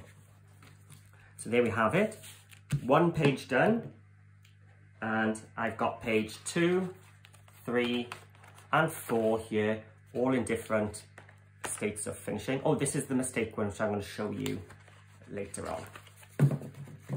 So let's start decorating. Let's grab the first piece of paper.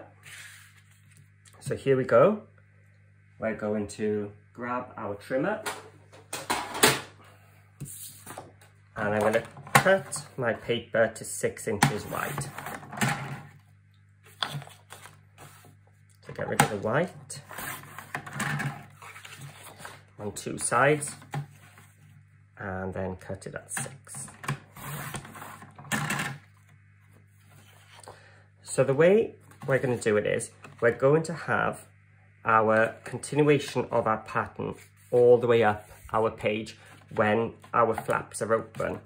So our flaps are one and a half inches, which means to mat it, I need one and a quarter. If you remember, I just do it quarter of an inch less. So that's my bottom flap. So now I need my main piece, I'm gonna have to turn it around. And my page is eight and a half, so I'm gonna go to eight and a quarter. So that'll go then to cover the middle piece. And then the top, again at one and a quarter.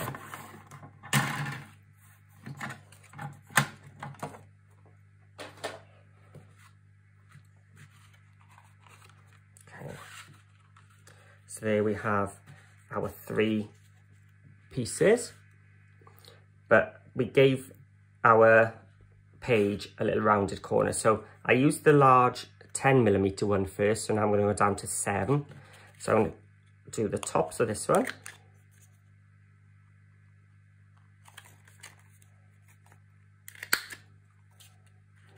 And the bottoms of this one.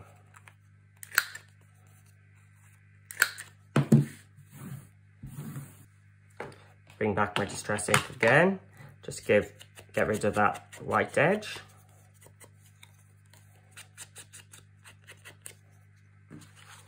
And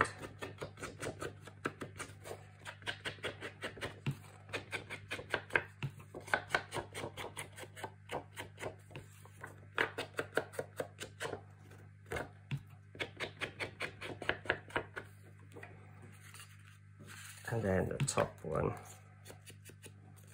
I know this isn't the most exciting thing to watch, but I think it is quite an important part of the process to see and to do because it really does finish off your project nicely. So let's glue this on. Now I'm going to be showing you a tied method for closing it with a tie closure using string. But what you could do is you could add some magnets here to keep them shut, but I didn't think it would be strong enough and I wanted to add more interest as well to my pages. So that's why I've gone for the other ties. But if you wanted to add some magnets at any point, remember to do so before you attach your paper.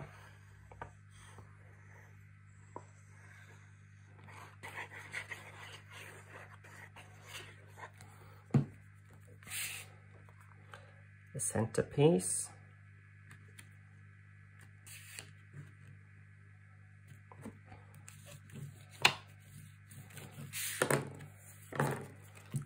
The bottom.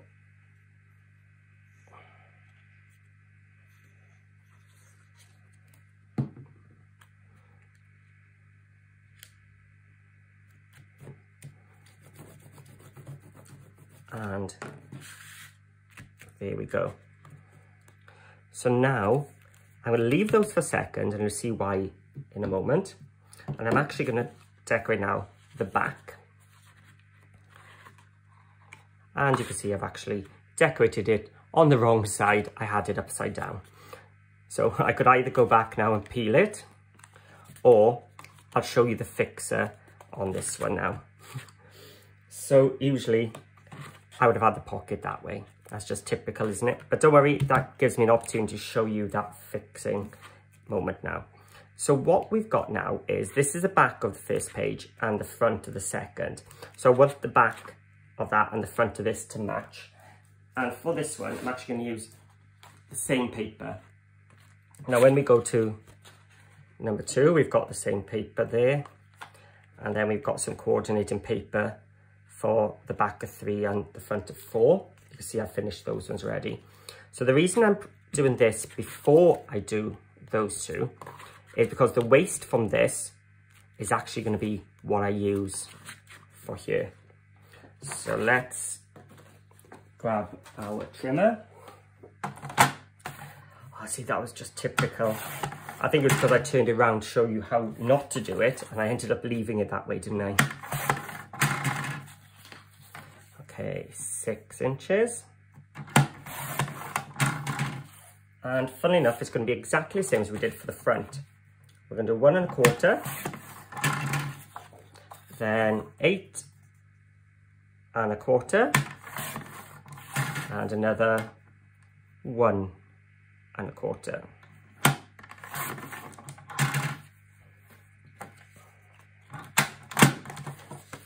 So exactly the same measurements as before, but now this time you're going to cut your pocket bit from this piece. Now normally I would do it at one and three quarters here, but because I've actually done upside down, I'm going to have to turn my paper upside down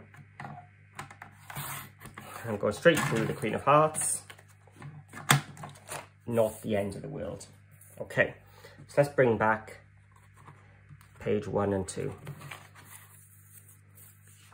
So I said, normally it'll be that way round for you, okay? Don't follow my mistake. So let's just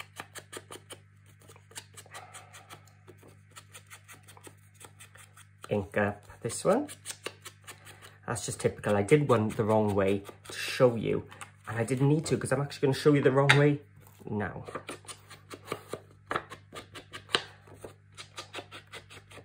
Okay.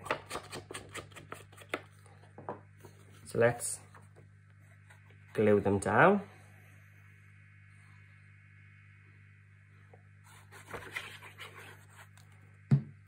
And you lift your pocket, so you tuck your paper inside and then place it down. And then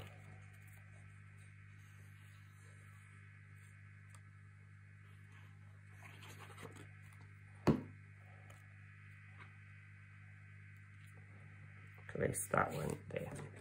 So you can see why I tell you not to do it this way around is when the page opens, everything's going to fall out. But because this kit comes with so many other things. I thought this was clever. For those who hate fussy cutting, there's actually a bleed line around it. So when you cut it out, it's much easier. So you could cut one of these out or just for speed. We've got some square ones, some nice fancy shaped ones. What you're going to do is try and find an image they like. So let's, because we've got the Queen of Hearts there, let's use that one.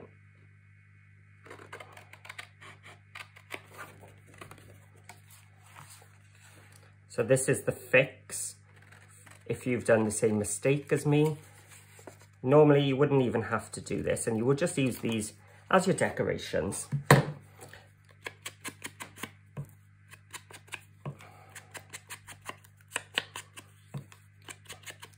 Were you all shouting at me saying you've turned it upside down? Oh, those are the journal pages again, some more journal pages. How amazing are those images? And I'm going to show you another project using them. So what I can do now is I can glue just the right hand side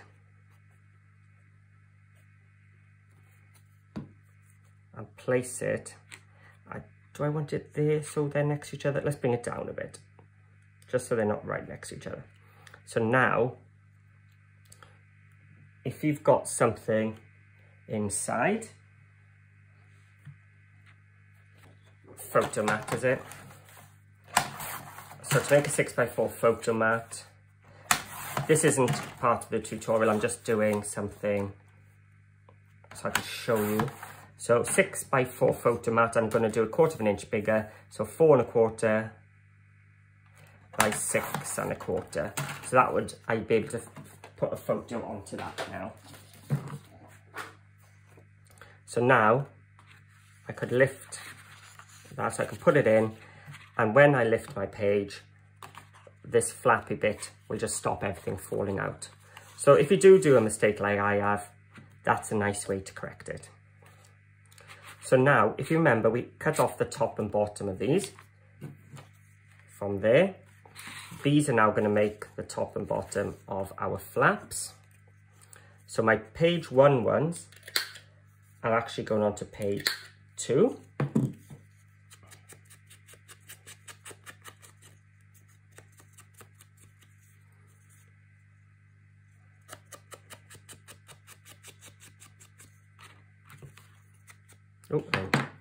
That's the top one. So I've got to do it on this side.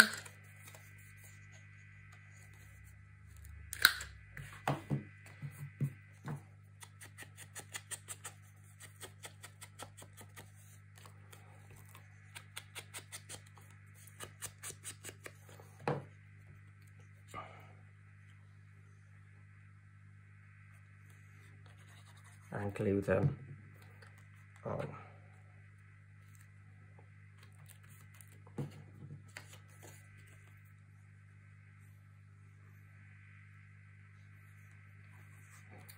See we've really made the most of our paper here by using the waste of the left page to finish off the right hand page. And the same, the waste from the top there you probably won't tell, but it is the waste from there because it's the same sort of pattern. So this is the plain A4 page. This is the one with the tea time in the middle. I'm going to show you how to make that later on. And then the waste from the top, the, the clock came from that side for page four. So then the back of page four, I have this letter one. So what I'm going to do is take the waste from the last one which I saved, and I've made it for page one. That's only if you, if you want to do it any other way, go ahead. That's just the way I've done it, just to save my paper, so I don't need to print off another sheet. So there's one. And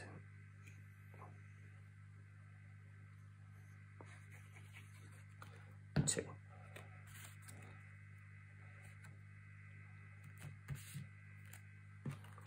So that's now we've got page one, two, three, and four all ready to go.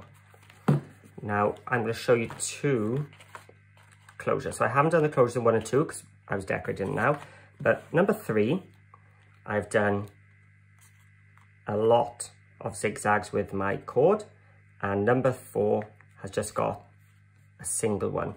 So I just thought I'd show you both just so you've got a bit of options.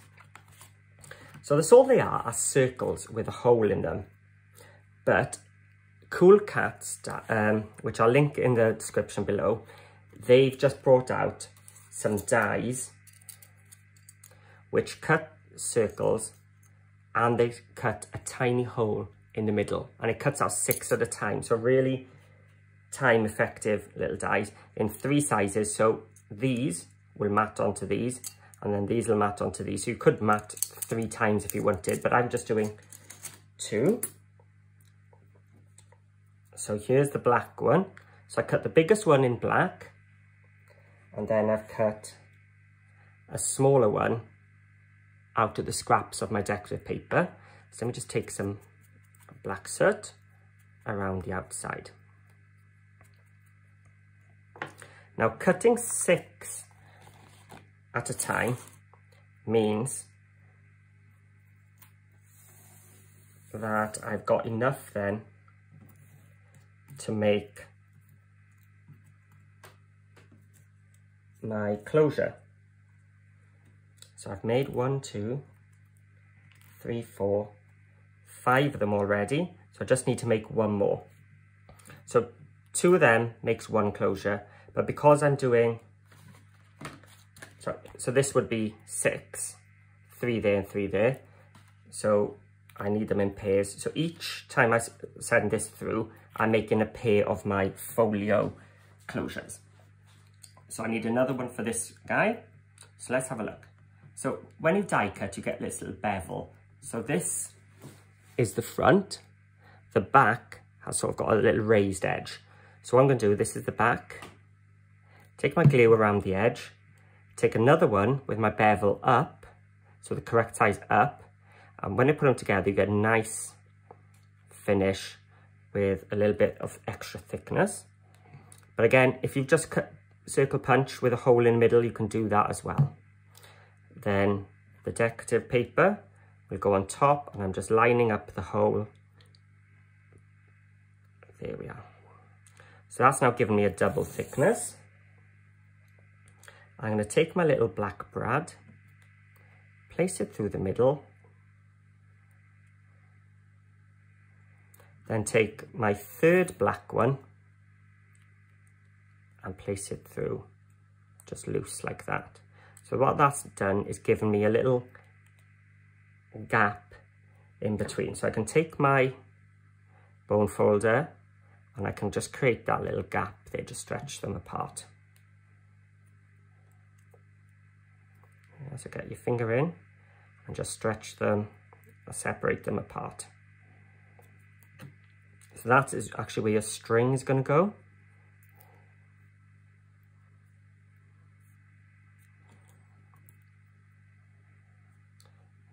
So just, I'm just sort of training my card to separate a little bit.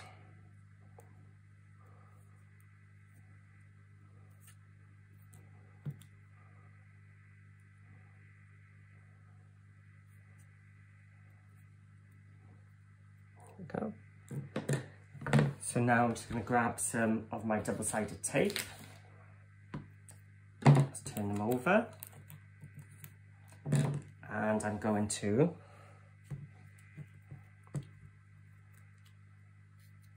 just cut some little squares. And that's just going to help them to stay in place for the glue to have a chance to grab I think is a bit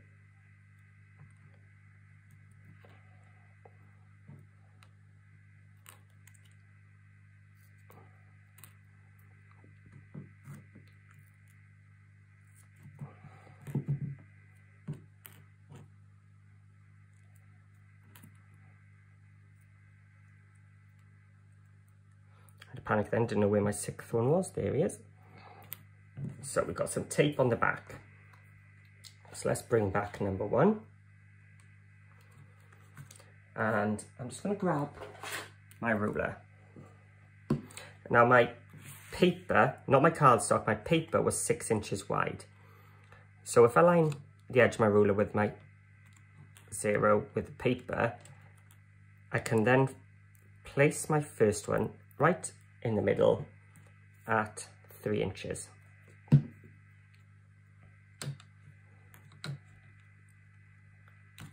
we go. This is number one.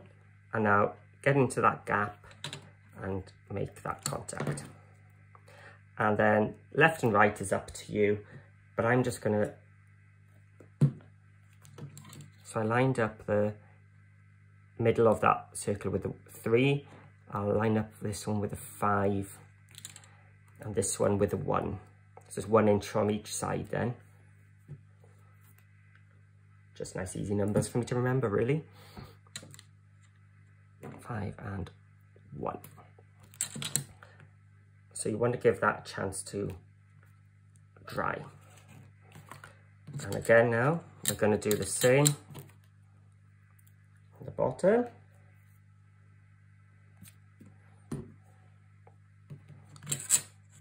Line it up with the paper, number three.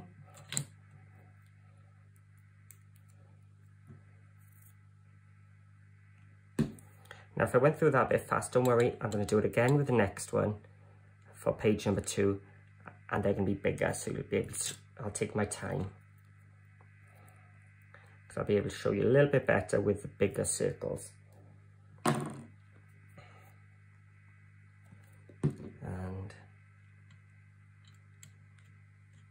five, three, and one. Okay. So this is a great closure as well.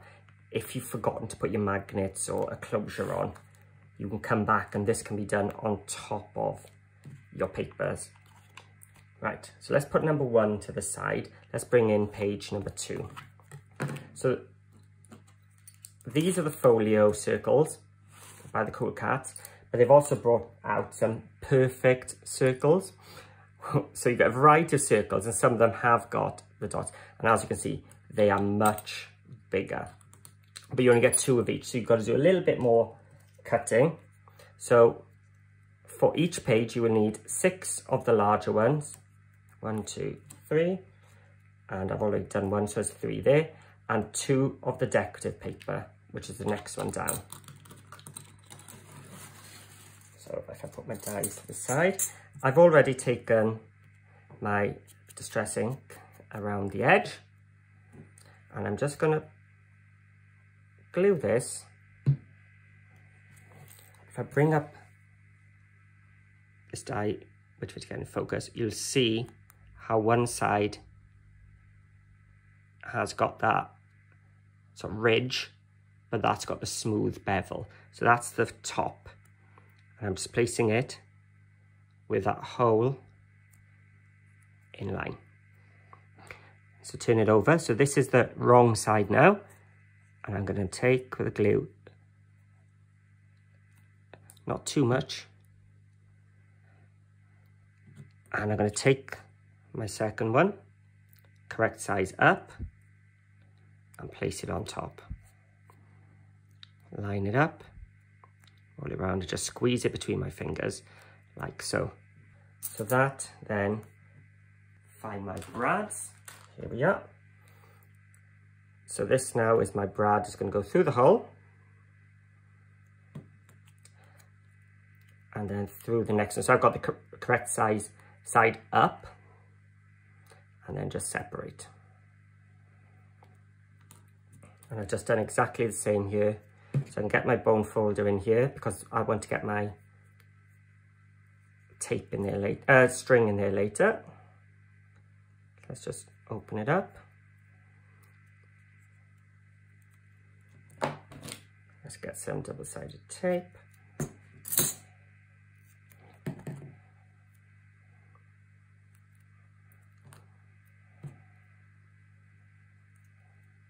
So I said this tape is just keeping it in place for now, but it's the glue that will keep it there permanently.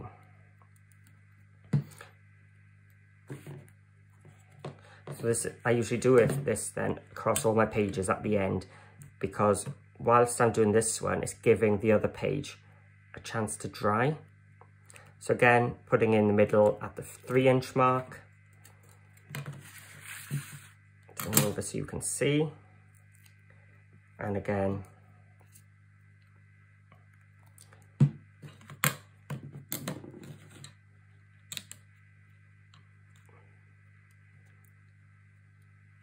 top of the circle at three inches. So let me get my bone folder in there. Great. So now I'm going to set that off to dry and bring back number one. So the string I'm using is just a one mil, a wax thread. So I just find the wax is really good because it's giving you that extra lubrication and add some stiffness to your cord. So I'm just going to tie it for the corset one. So call this a corset because it looks like a laced up corset.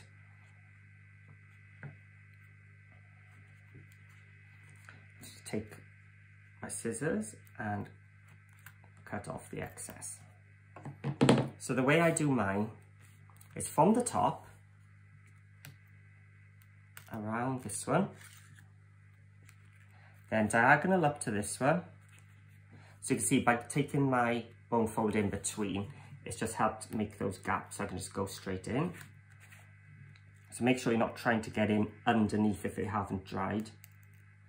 Get in between the two card four pieces, around that way, and over the top. And then however much length you want.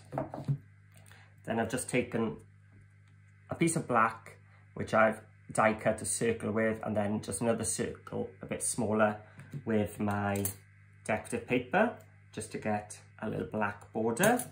Oh, I've already put the tape behind that one. Let me put this on the next one ready then. Take off the backing. Place my cord onto that double-sided tape. And now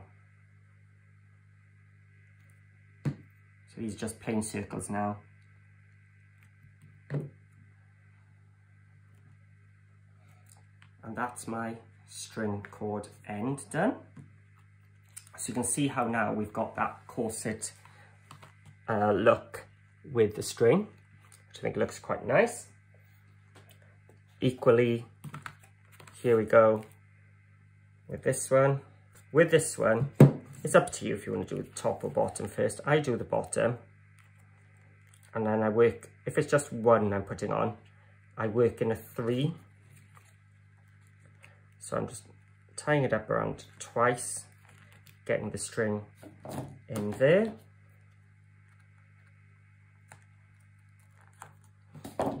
And then I work up, down, up, and then over.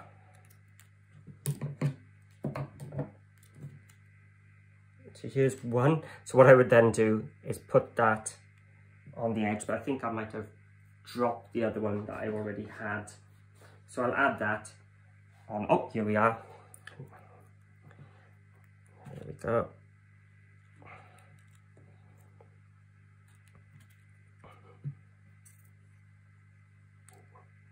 It's annoying when you've got a piece you know you've already done and you lose it. The amount of times I've redone one and then found it straight afterwards. And there we go, page two. So we've got page one, page two, page three, and page four. So I've alternated corset, plain, corset, plain. But up to you if you want to do all corsets, fine. If you want to do all, just singles, fine. Okay. So let's now put my lid on my ink before it dries. Let's bring back our cover. And I'm going to start with page four. I'm going to place tape down each of my spines when I find it, we are. So in that half inch score line we did, we're just going to run our strong tape. You do want your strong tape here.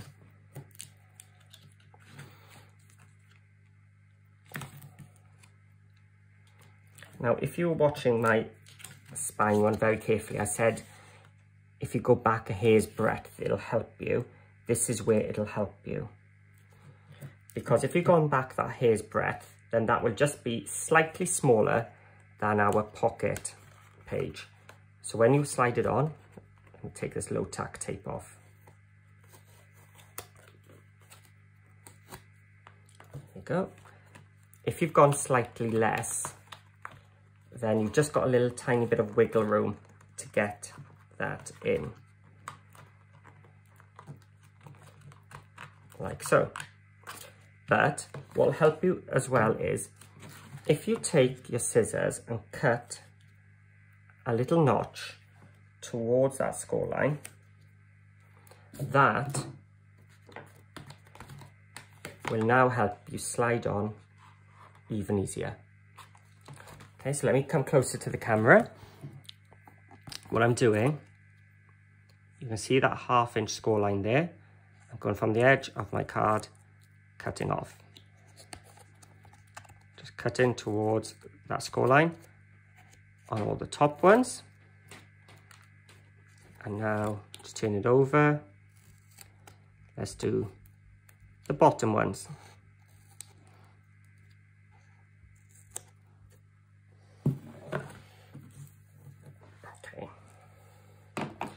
Now our spine is all prepared. Let me just burnish down the tape.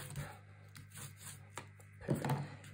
So I'm only putting tape on one side because it just helps me um, to be able to move a little bit more. If I had tape on the bottom as well, as I slide it on, it's going to stick as it goes in. So what I'm going to do is just run some glue down the back just to seal it. So nothing falls out the other side. We're just going to take our pocket page, I'm opening it up, I'm sliding it on,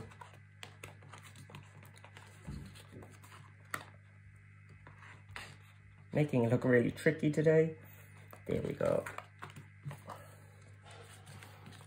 There, let's just get it up in the air, there we are. Do you know I'm just going to take the tape off rather than fiddle.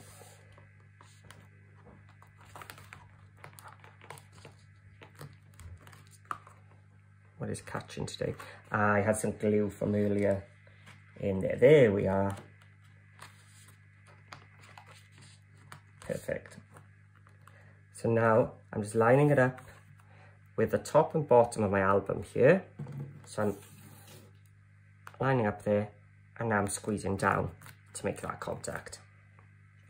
So just give me a little bit of wiggle time. Let's just go for it now. That's number one, uh, number four. So now we want page number three.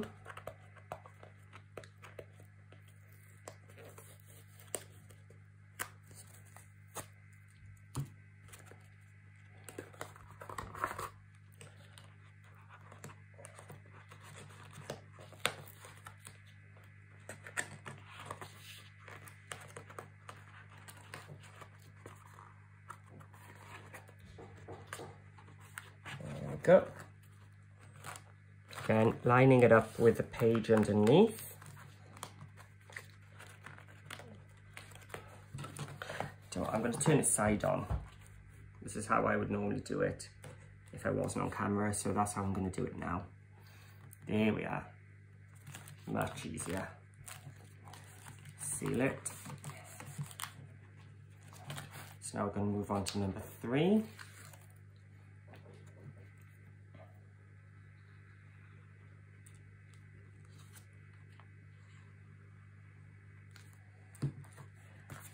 page two. Let's take that tape off.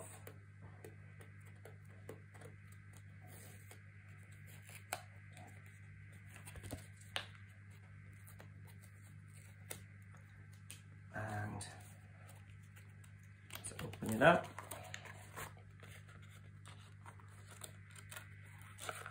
Out the way. Sliding it over.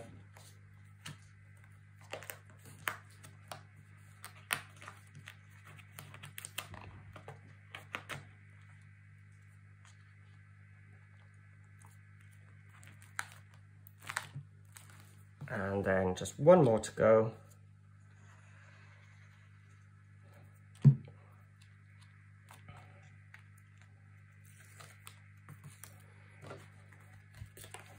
page number one, the one I did wrong.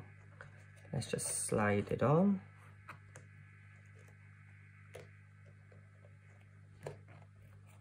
And there we go. So now we have our album complete. So we've got our pages, and because we've got that double hinge, it all lies flatter. So we haven't got everything just sticking up like that. It all lies flat. We can use the cords then to open up. And each of these then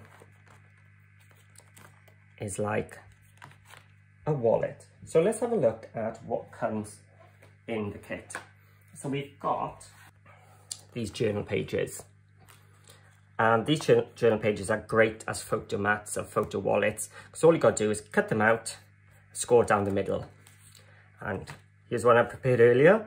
Just cut out and scored down the middle. Then just took my black soot just around the edge of the front and back. So what you can do now is these can go, let me not go for the wrong one, inside your pocket. They can go in there but also these were designed actually let me go get the one which has just got a single one it'll just be a little bit quicker won't it? These policy type placements was perfect just to put them on place it in and just putting in your journal page so that was a little fab idea. Or what you can make is a little photo wallet to put them in. So I'm going to show you how to make one of these. They're a little bit thicker, so they're perfect to go into here because you can slide that bit in there and just have that bit hanging loose. So it's kind of making a flap, which you can pull out and store your photos in there. So let's make one of these. Now, because it's going inside one of my albums, I'm using a bit of a thinner weight. I think this is a 160 rather than the 220. So it's an A4 piece, and that's all I'm doing is I'm scoring it at 5 and 3 eighths. So 5 and one, two, three. See, I'm very technical there. 5 and 3 eighths. Just go to 5 and count 3 across and then at 10 and 3 quarters. So we've got that little bit left over, which is what we want. Let's bring in my Teflon tool again. And I'm just scoring it. Uh, not scoring, I'm burnishing it down. And then burnishing it down here as well. Then I'm just to add some glue here and here. So you see, no cutting, no trimming, just two score lines and done. And then you just take your journal page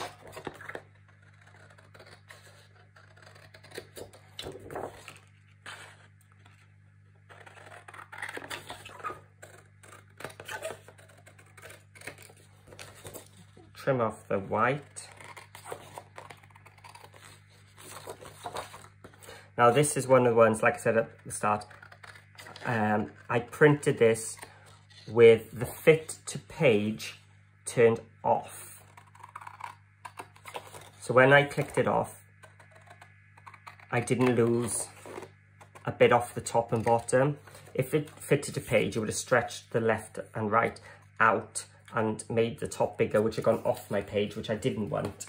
So, yeah, so I took it off. Then I'm just going to fold it in half and just, just crease a little bit there. That's my halfway point. Bring in my trimmer. It's halfway, there we are.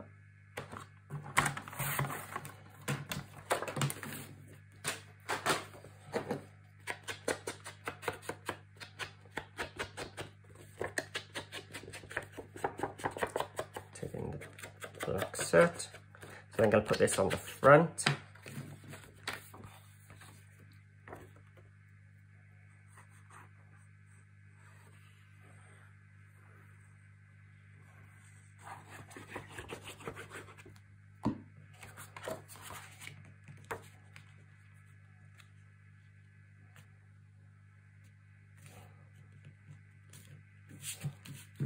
Get that border and then you could decorate the inside as well. Just if you're going to do that, remember you're going to trim a bit off to mat that and then glue it because you're not going to get that in now because of the glue. So I just used it on the back.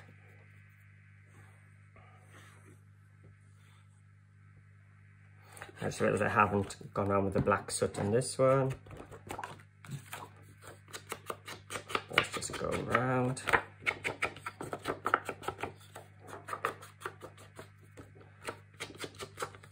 Haven't been as careful as I normally would there.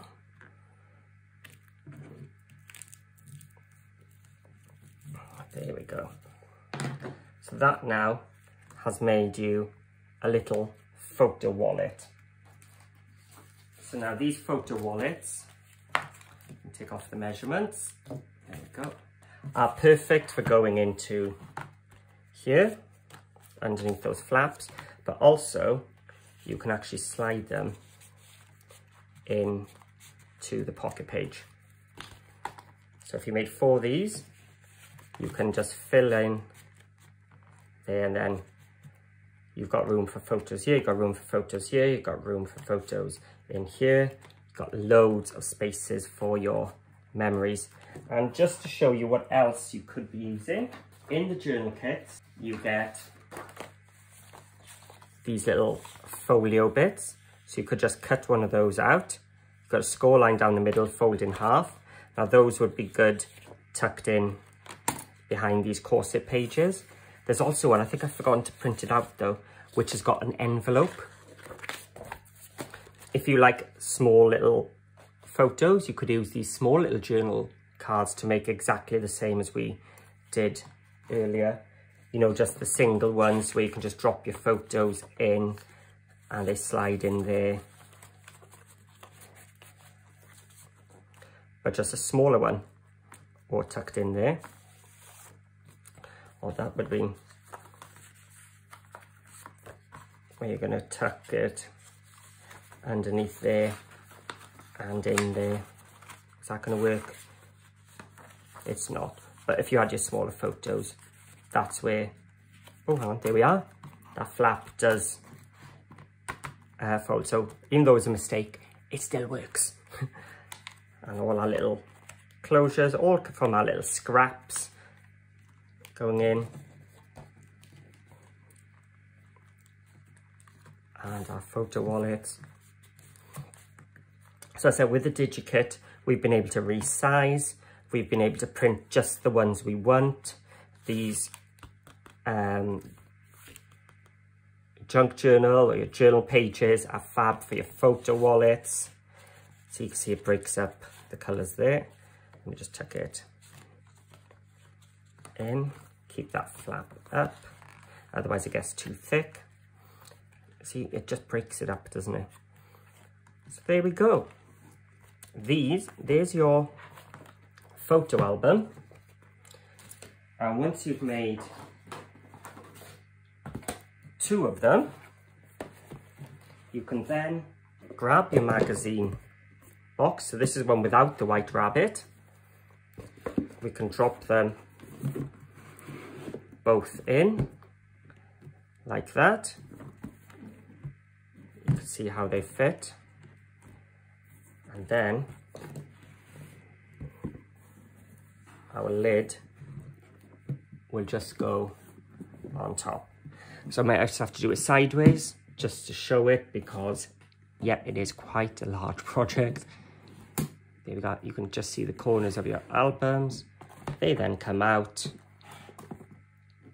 and you've got your magazine. So as I said in the box one, if you just wanted to make the one box, it's just going to tuck in like that and you can just have that as its own project.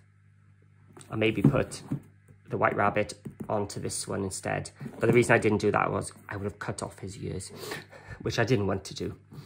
Okay, so there's our main project made.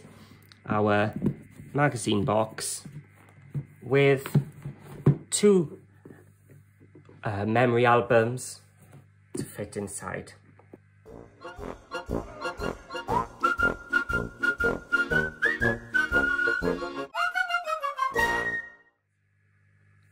So I've already made the big box project and the albums. So I thought what I'd do is make a little bonus project as well. So this is like a little extra tag on for you. Because in the kits, if you go over to their YouTube channel, Vectoria Designs, you'll see a lot of their more junk journal and more vintage and shabby chic type things making use of these pages, the journal pages. So I wanted to turn these and make a project more in my style. So what I've come up with is this perpetual album. So I've used one of the papers on the front and then you've got a booklet that opens up like that. Loads of amazing designs and room then for your six by four photos on each page. But what makes it a bit more interesting then is when you untie the ribbons, they're not actually just decorative. When you untie them, the album will also open up the other way, revealing even more of those journal pages. And perpetual, it's like a never ending, so you can just go back the other way. Or you can open it out and have all the pages on display or even stand it up and have a display like that or zigzag any way you want. So it's a nice little fun extra little idea. So how do I make it? Well, first of all, I printed off the journal pages. Now what's important with this now is that you choose the ones which haven't got the little text underneath. There's some which have a description underneath and some which don't. These are the ones that don't, so they're bigger. They'll fill more of your page.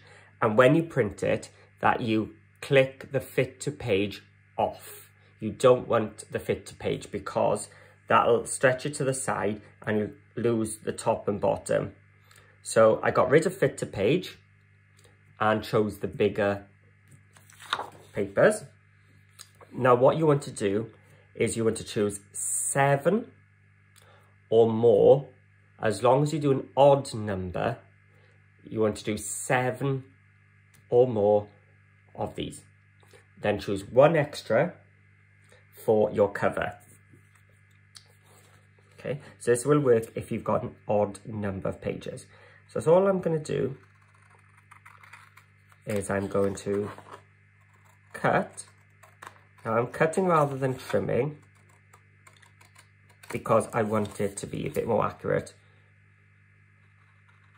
Because you want all your pages to be the same size. And if I when I'm trimming uh, white edges off, I don't always get it spot on. And if I trim a bit too much off, I'd have to trim off each one. So I find for this, cutting or using your uh, ruler and knife is probably your preferred options for this.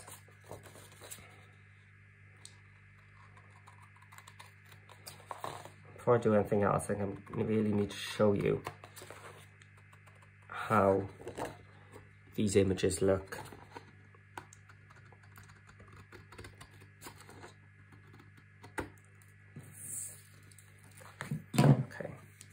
So I'm printing onto my ice, my 190 GSM cardstock.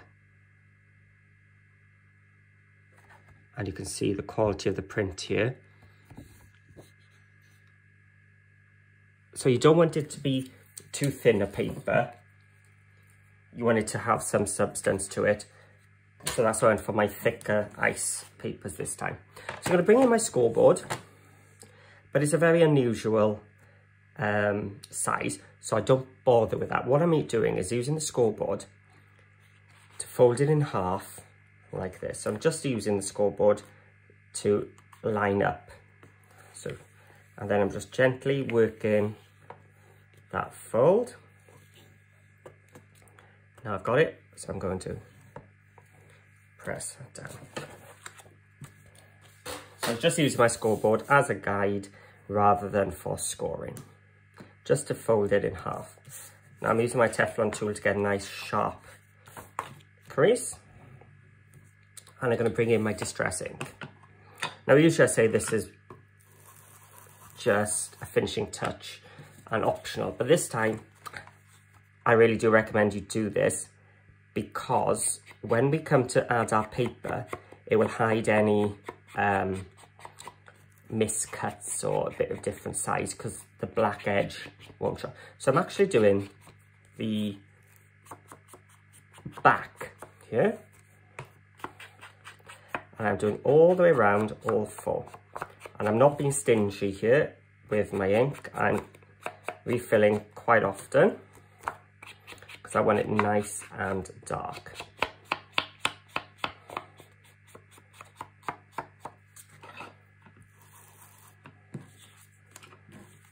And I'm going to do the other side as well. And the reason for doing this will become clear when I start putting my book together. Okay. So you can see I've done both sides and I'm making sure I've got it down the spine because you are going to see that later on. So I'm making sure the spine part is nice and dark. Just finish off. Let's go around the edge of the inside as well, the coloured side. The last bit. Brilliant.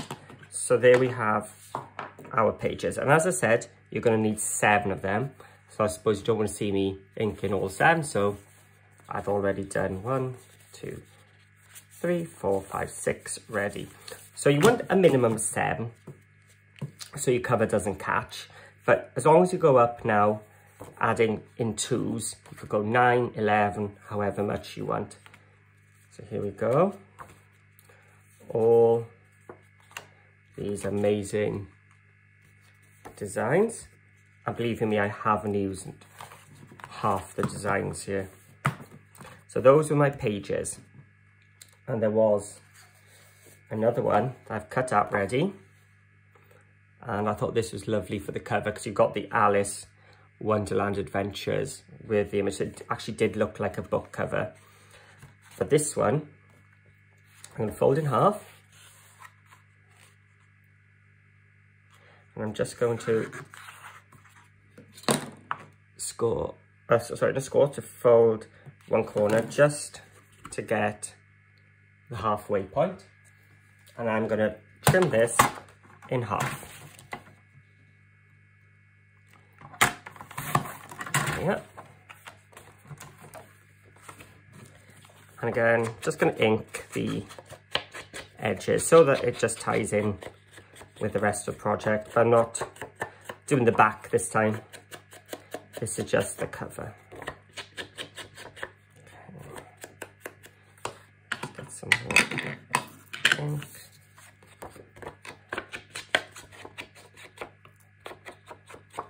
So I'm just getting rid of that white core edge because it will show up on the uh, black cover later on.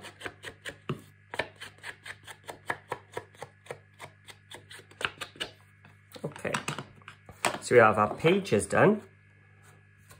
We have our two covers done. So now we just need some chipboard. So again, same as used for the box in the album, it's just one and a half mil chipboard. And I've cut it at five and three eighths by eight and a quarter. Now that is A4, so I got both of them out of the one A4 sheet. And it's up to you now how you want to cover it. You could use the cardstock method where you just put it on card, trim, cover, but I like my um, frame tape from Cool Katz.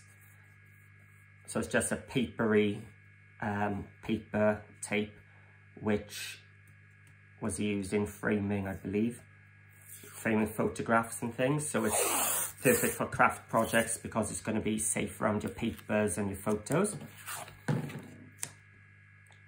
So I'm just going to place it onto my tape. And if you've seen the other album, uh, other videos, you will see how you just take your tape, keep just stretching it, placing it down. And again,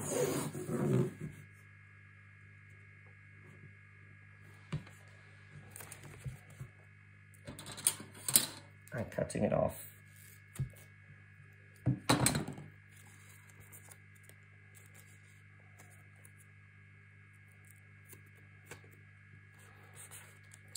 And then just taking a sharp pair of scissors and I'm cutting a V shape out of the tape towards the corner of my grey board. So just cut a triangle away. So that's sort of mitering there. I'm just working around all four sides.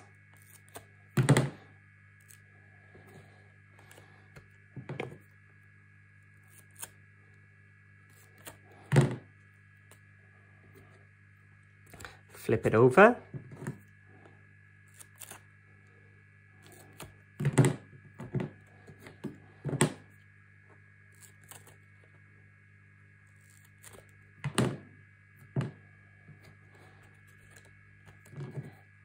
and there's a couple more to go.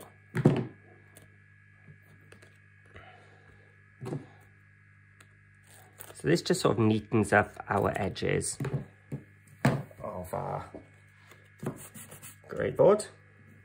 I'm just pinching it over, then start in the middle, making contact all the way. So again, brush it onto the edge, just sort of taking a pinch just to get it over the edge of the grey board and then take it down onto the main front. I'm just sort of working it over that edge, pinching it on and then squeezing it out. And again, making the contact over the edge, nice crisp edge start in the middle and work out, especially with the longer edges. And if you find you've got a little couple of bumps, you just take your Teflon tool, your bone folder, and you smooth it all down.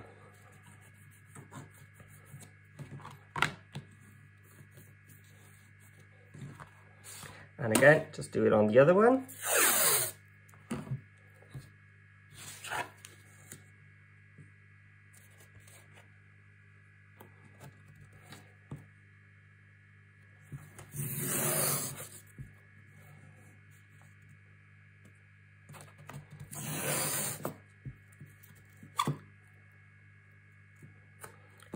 So, oh, let's get it more centered.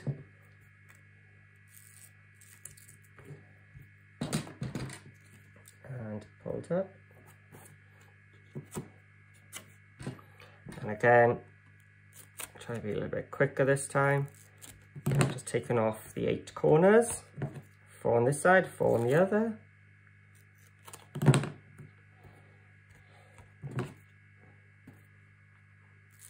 I just find this a bit quicker than the uh, paper method, uh, just covering with a black paper or black cardstock. And as well, the tape is, is cheaper than using all that double-sided um, tape as well.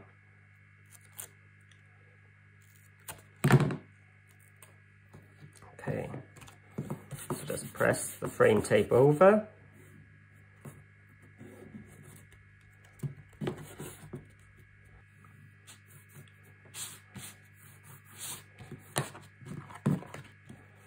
And get rid of all those creases. Not too bad this time. Excellent. So now we've got our two covers. But before I attach my papers to it, I want to want to add my ribbon.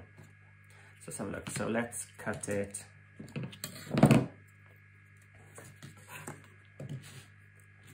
See what sort of size did I have last time. This seemed to be a good length. So 16.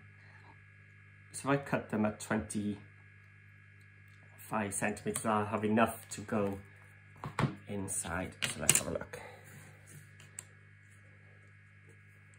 So six inches or, yeah, let's go six in, uh, sorry, nine inches. That might be easier to keep the inches. So nine inches. But it depends how long you want it really.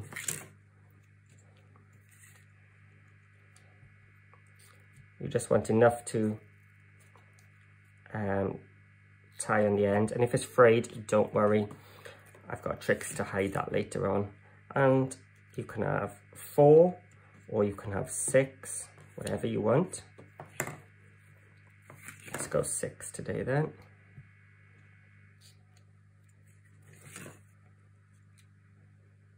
And you can see I'm just roughly chopping them at nine.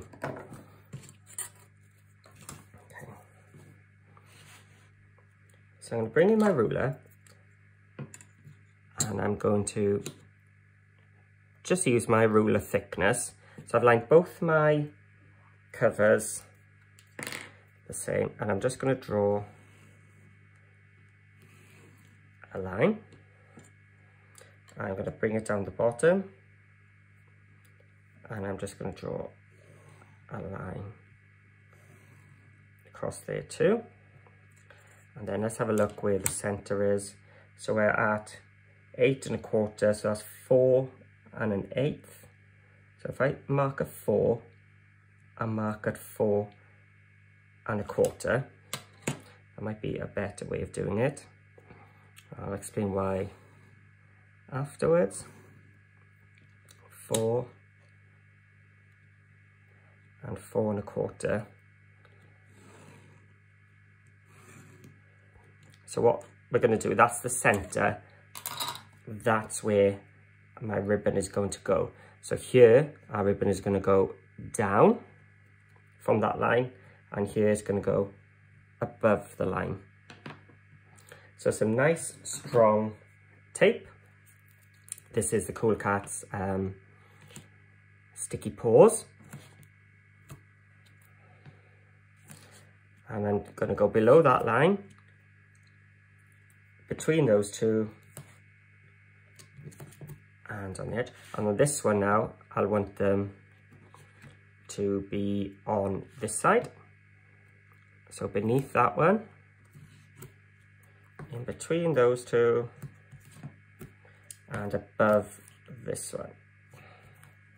I just add a little bit more there. Okay. So let's have a look. Take off some tape and I just want enough that I can tie my knots later on. So now I'm looking here to my left to try and get sort of the same distance. And stick it down. And the third one. This is lining it up above.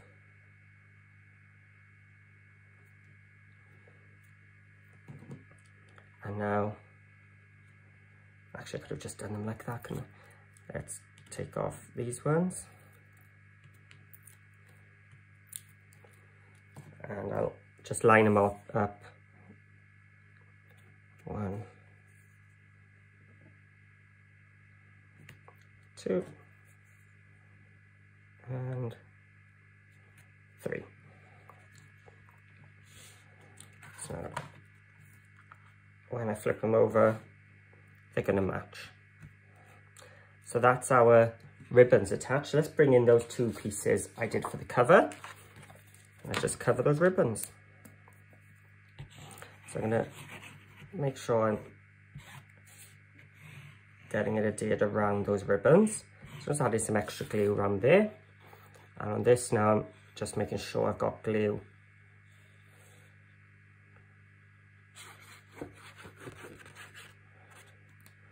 all around. Move the one from underneath away.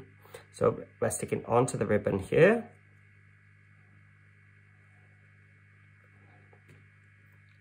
So you want some nice thin ribbon.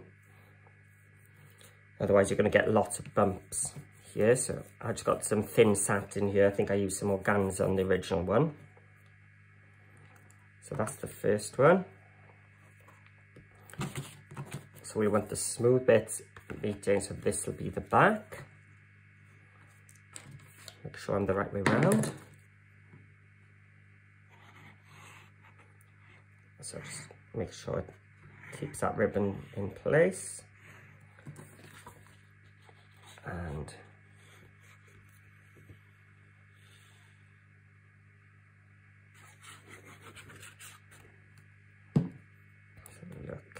keys to the right hand side.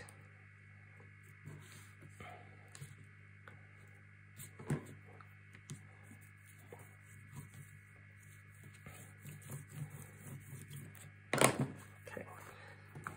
So those are my cover pieces ready, so set them aside. Let's bring our pages in. So have a think now how you want your pages to look. When you open your book first, which one do you want to see?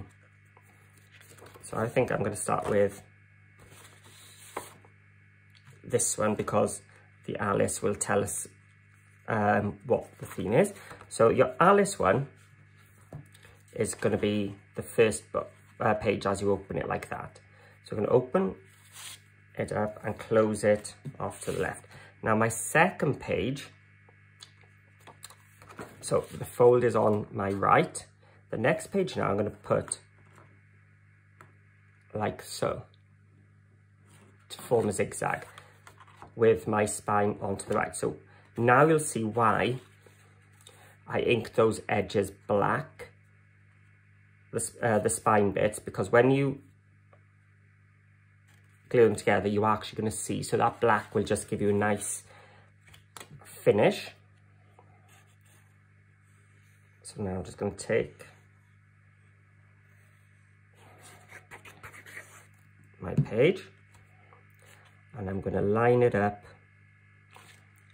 onto my first page. Now this second one, the one I'm putting on top, you will not see this in um, the regular open. So here's the first page we've chosen. Now the one we've just stuck is actually behind there. So when you open it up, it's actually keeping these two pages together there. So number one, you will see. Number two, you won't. Number three, you will see in the original opening. So I'm going to have, let's have a look. We've got a red. So do I want another red? No, let's go uh, turquoise. So my spine was on my left this time, so now it's going to be on my right. So just keep alternating your spine where that fold is.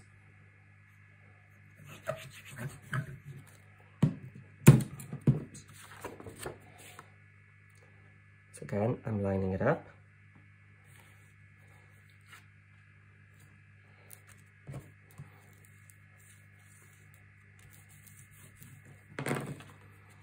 So we've got red. Now, this had a green one, so purple would be spine here. Oh, let's go red, because got quite a few reds. So this time the spine is going to go to my left. So I need to ink this side.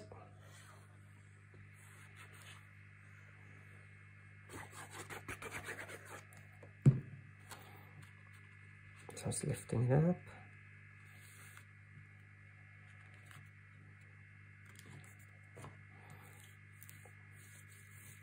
Now, if you find lining up tricky, what you can do is bring your scoreboard back in and build it in that corner there. But just be aware, with scoreboards, it comes up and then tilts back. So if the higher up you come, it's actually tilting back towards the top there. So your papers would gradually start going that way. So just use the left-hand side to line things up if you're not confident. Right, forgot my name. So page one, page two. So now we're moving on to page three. I think I, now I'm going to use that purple. Oh, which side do I want now? So the spine's here. So now I want it like that.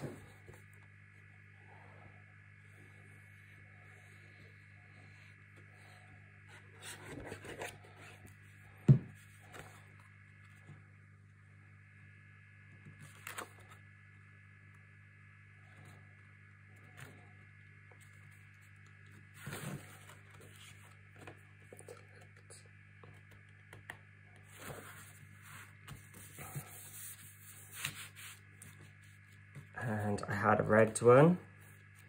So let's try and avoid the red. Let's go for the black then. And I want spine that side so let's I think you get an idea now of how the book builds up and how it all works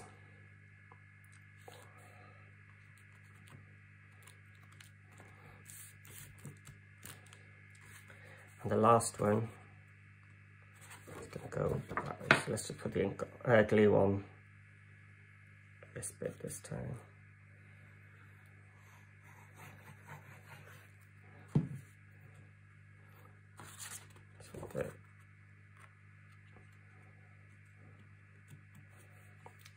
So I've just kept going until I've used up all my papers. So here we go. You can see now why I inked those spines of the pages so well at the beginning. It was worth doing because it does hide. In the original one, I didn't. And you can see how the white really shows up. So I, I did test it on the last one and I liked how it looked. So you can see that's a much better finish. So this is the back. So let's bring in the back piece. Here we go. And lay it down. Now just so that it stays in place, I'm gonna put some tape down. Just some of my strong score tape or the sticky paws tape. I'm gonna flip it over. Now the chipboard bit is a little bit bigger than our pages, just to give a nice little black border. So that's why you want seven pages at least. Otherwise, the overlap will hit each other as you open your book. So if you line up in the center and take it a little bit closer to the left-hand side where the ribbons are, there you go. That'll just mean you've got less overlap of the chipboard on the left, which will help with the book opening. So again, added some tape just so it sticks straight away so we can carry on with our project. But the glue is what will keep it in place permanently. So now what I'm going to do is line this up with the chipboard underneath. So I'm bringing my head or straight over, placing it down, checking, yep, it's nice and even, happy to squeeze down. So that's your perpetual album then. You see if you didn't if you had less than seven, as you opened it, these two bits would hit there. So that's why you want a minimum of seven.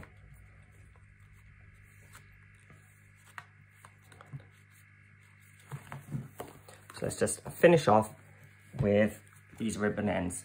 So what I've done, I've just taken some die cut or hole punch and done a load of dots, uh, black circles and some of the paper leftovers from when I did my album and my box. I got way too much here, I know. So let's have a look. Which ones will... I'm gonna just blacken the six I want. I was on six, I went 12, didn't I?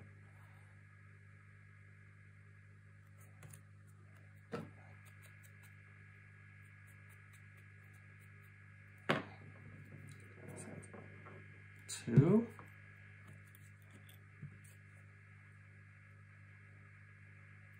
So by using the offcuts from the album, I know it's going to tie in with all the papers in those journal pages.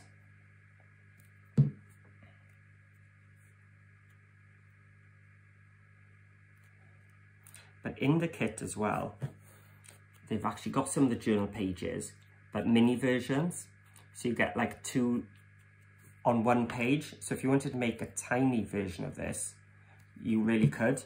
So all you'd want to do is print off one of your pages, make your uh, chipboard page just slightly bigger and use the same method. So you can make small ones or this size.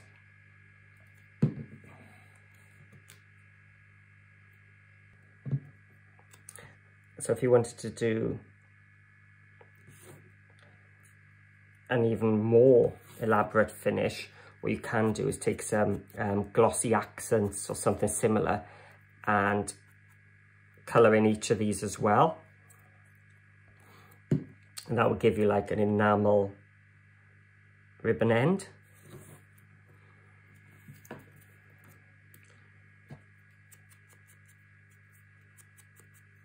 So almost done.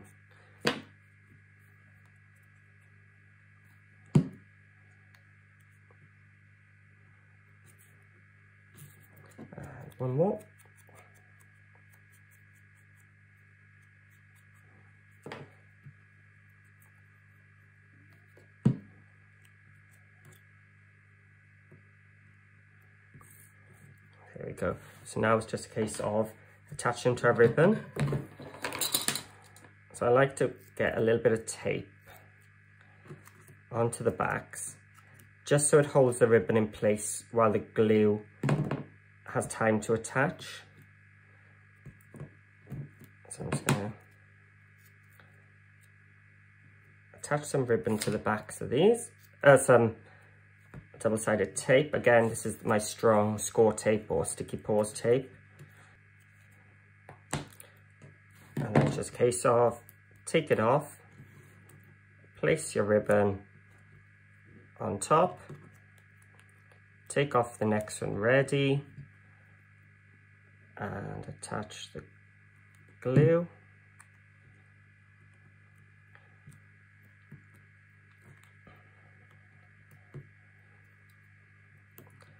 Next to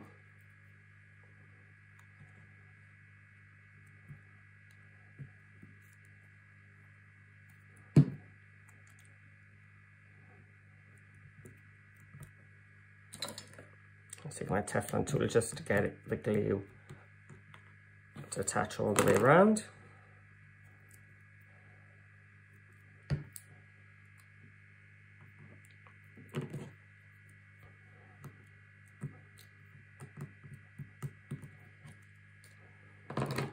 And there we have it.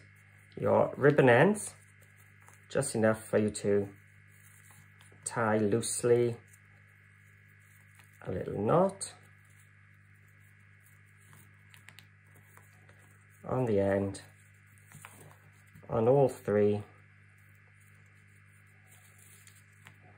I know some people like decorating their ribbon ends and stuff, so go for it. Be creative, that's your opportunity to be creative. And there we have our perpetual album using the Vectoria Designs uh, journal pages. And if you head over to their YouTube page, there's links there to their shop and things. You will find a whole host of different journal kits available.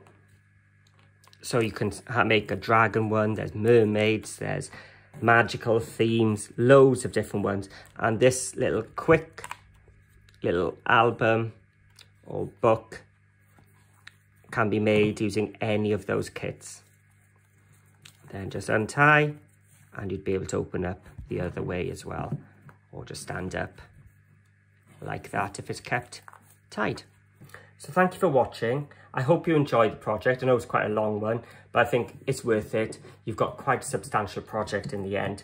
So if you haven't already, please click that subscribe button and click those thumbs up if you enjoyed it. It really means a lot to me. Please leave me comments as well. Tell me what you think. And I'll see you all again really soon with some more fun, exciting projects.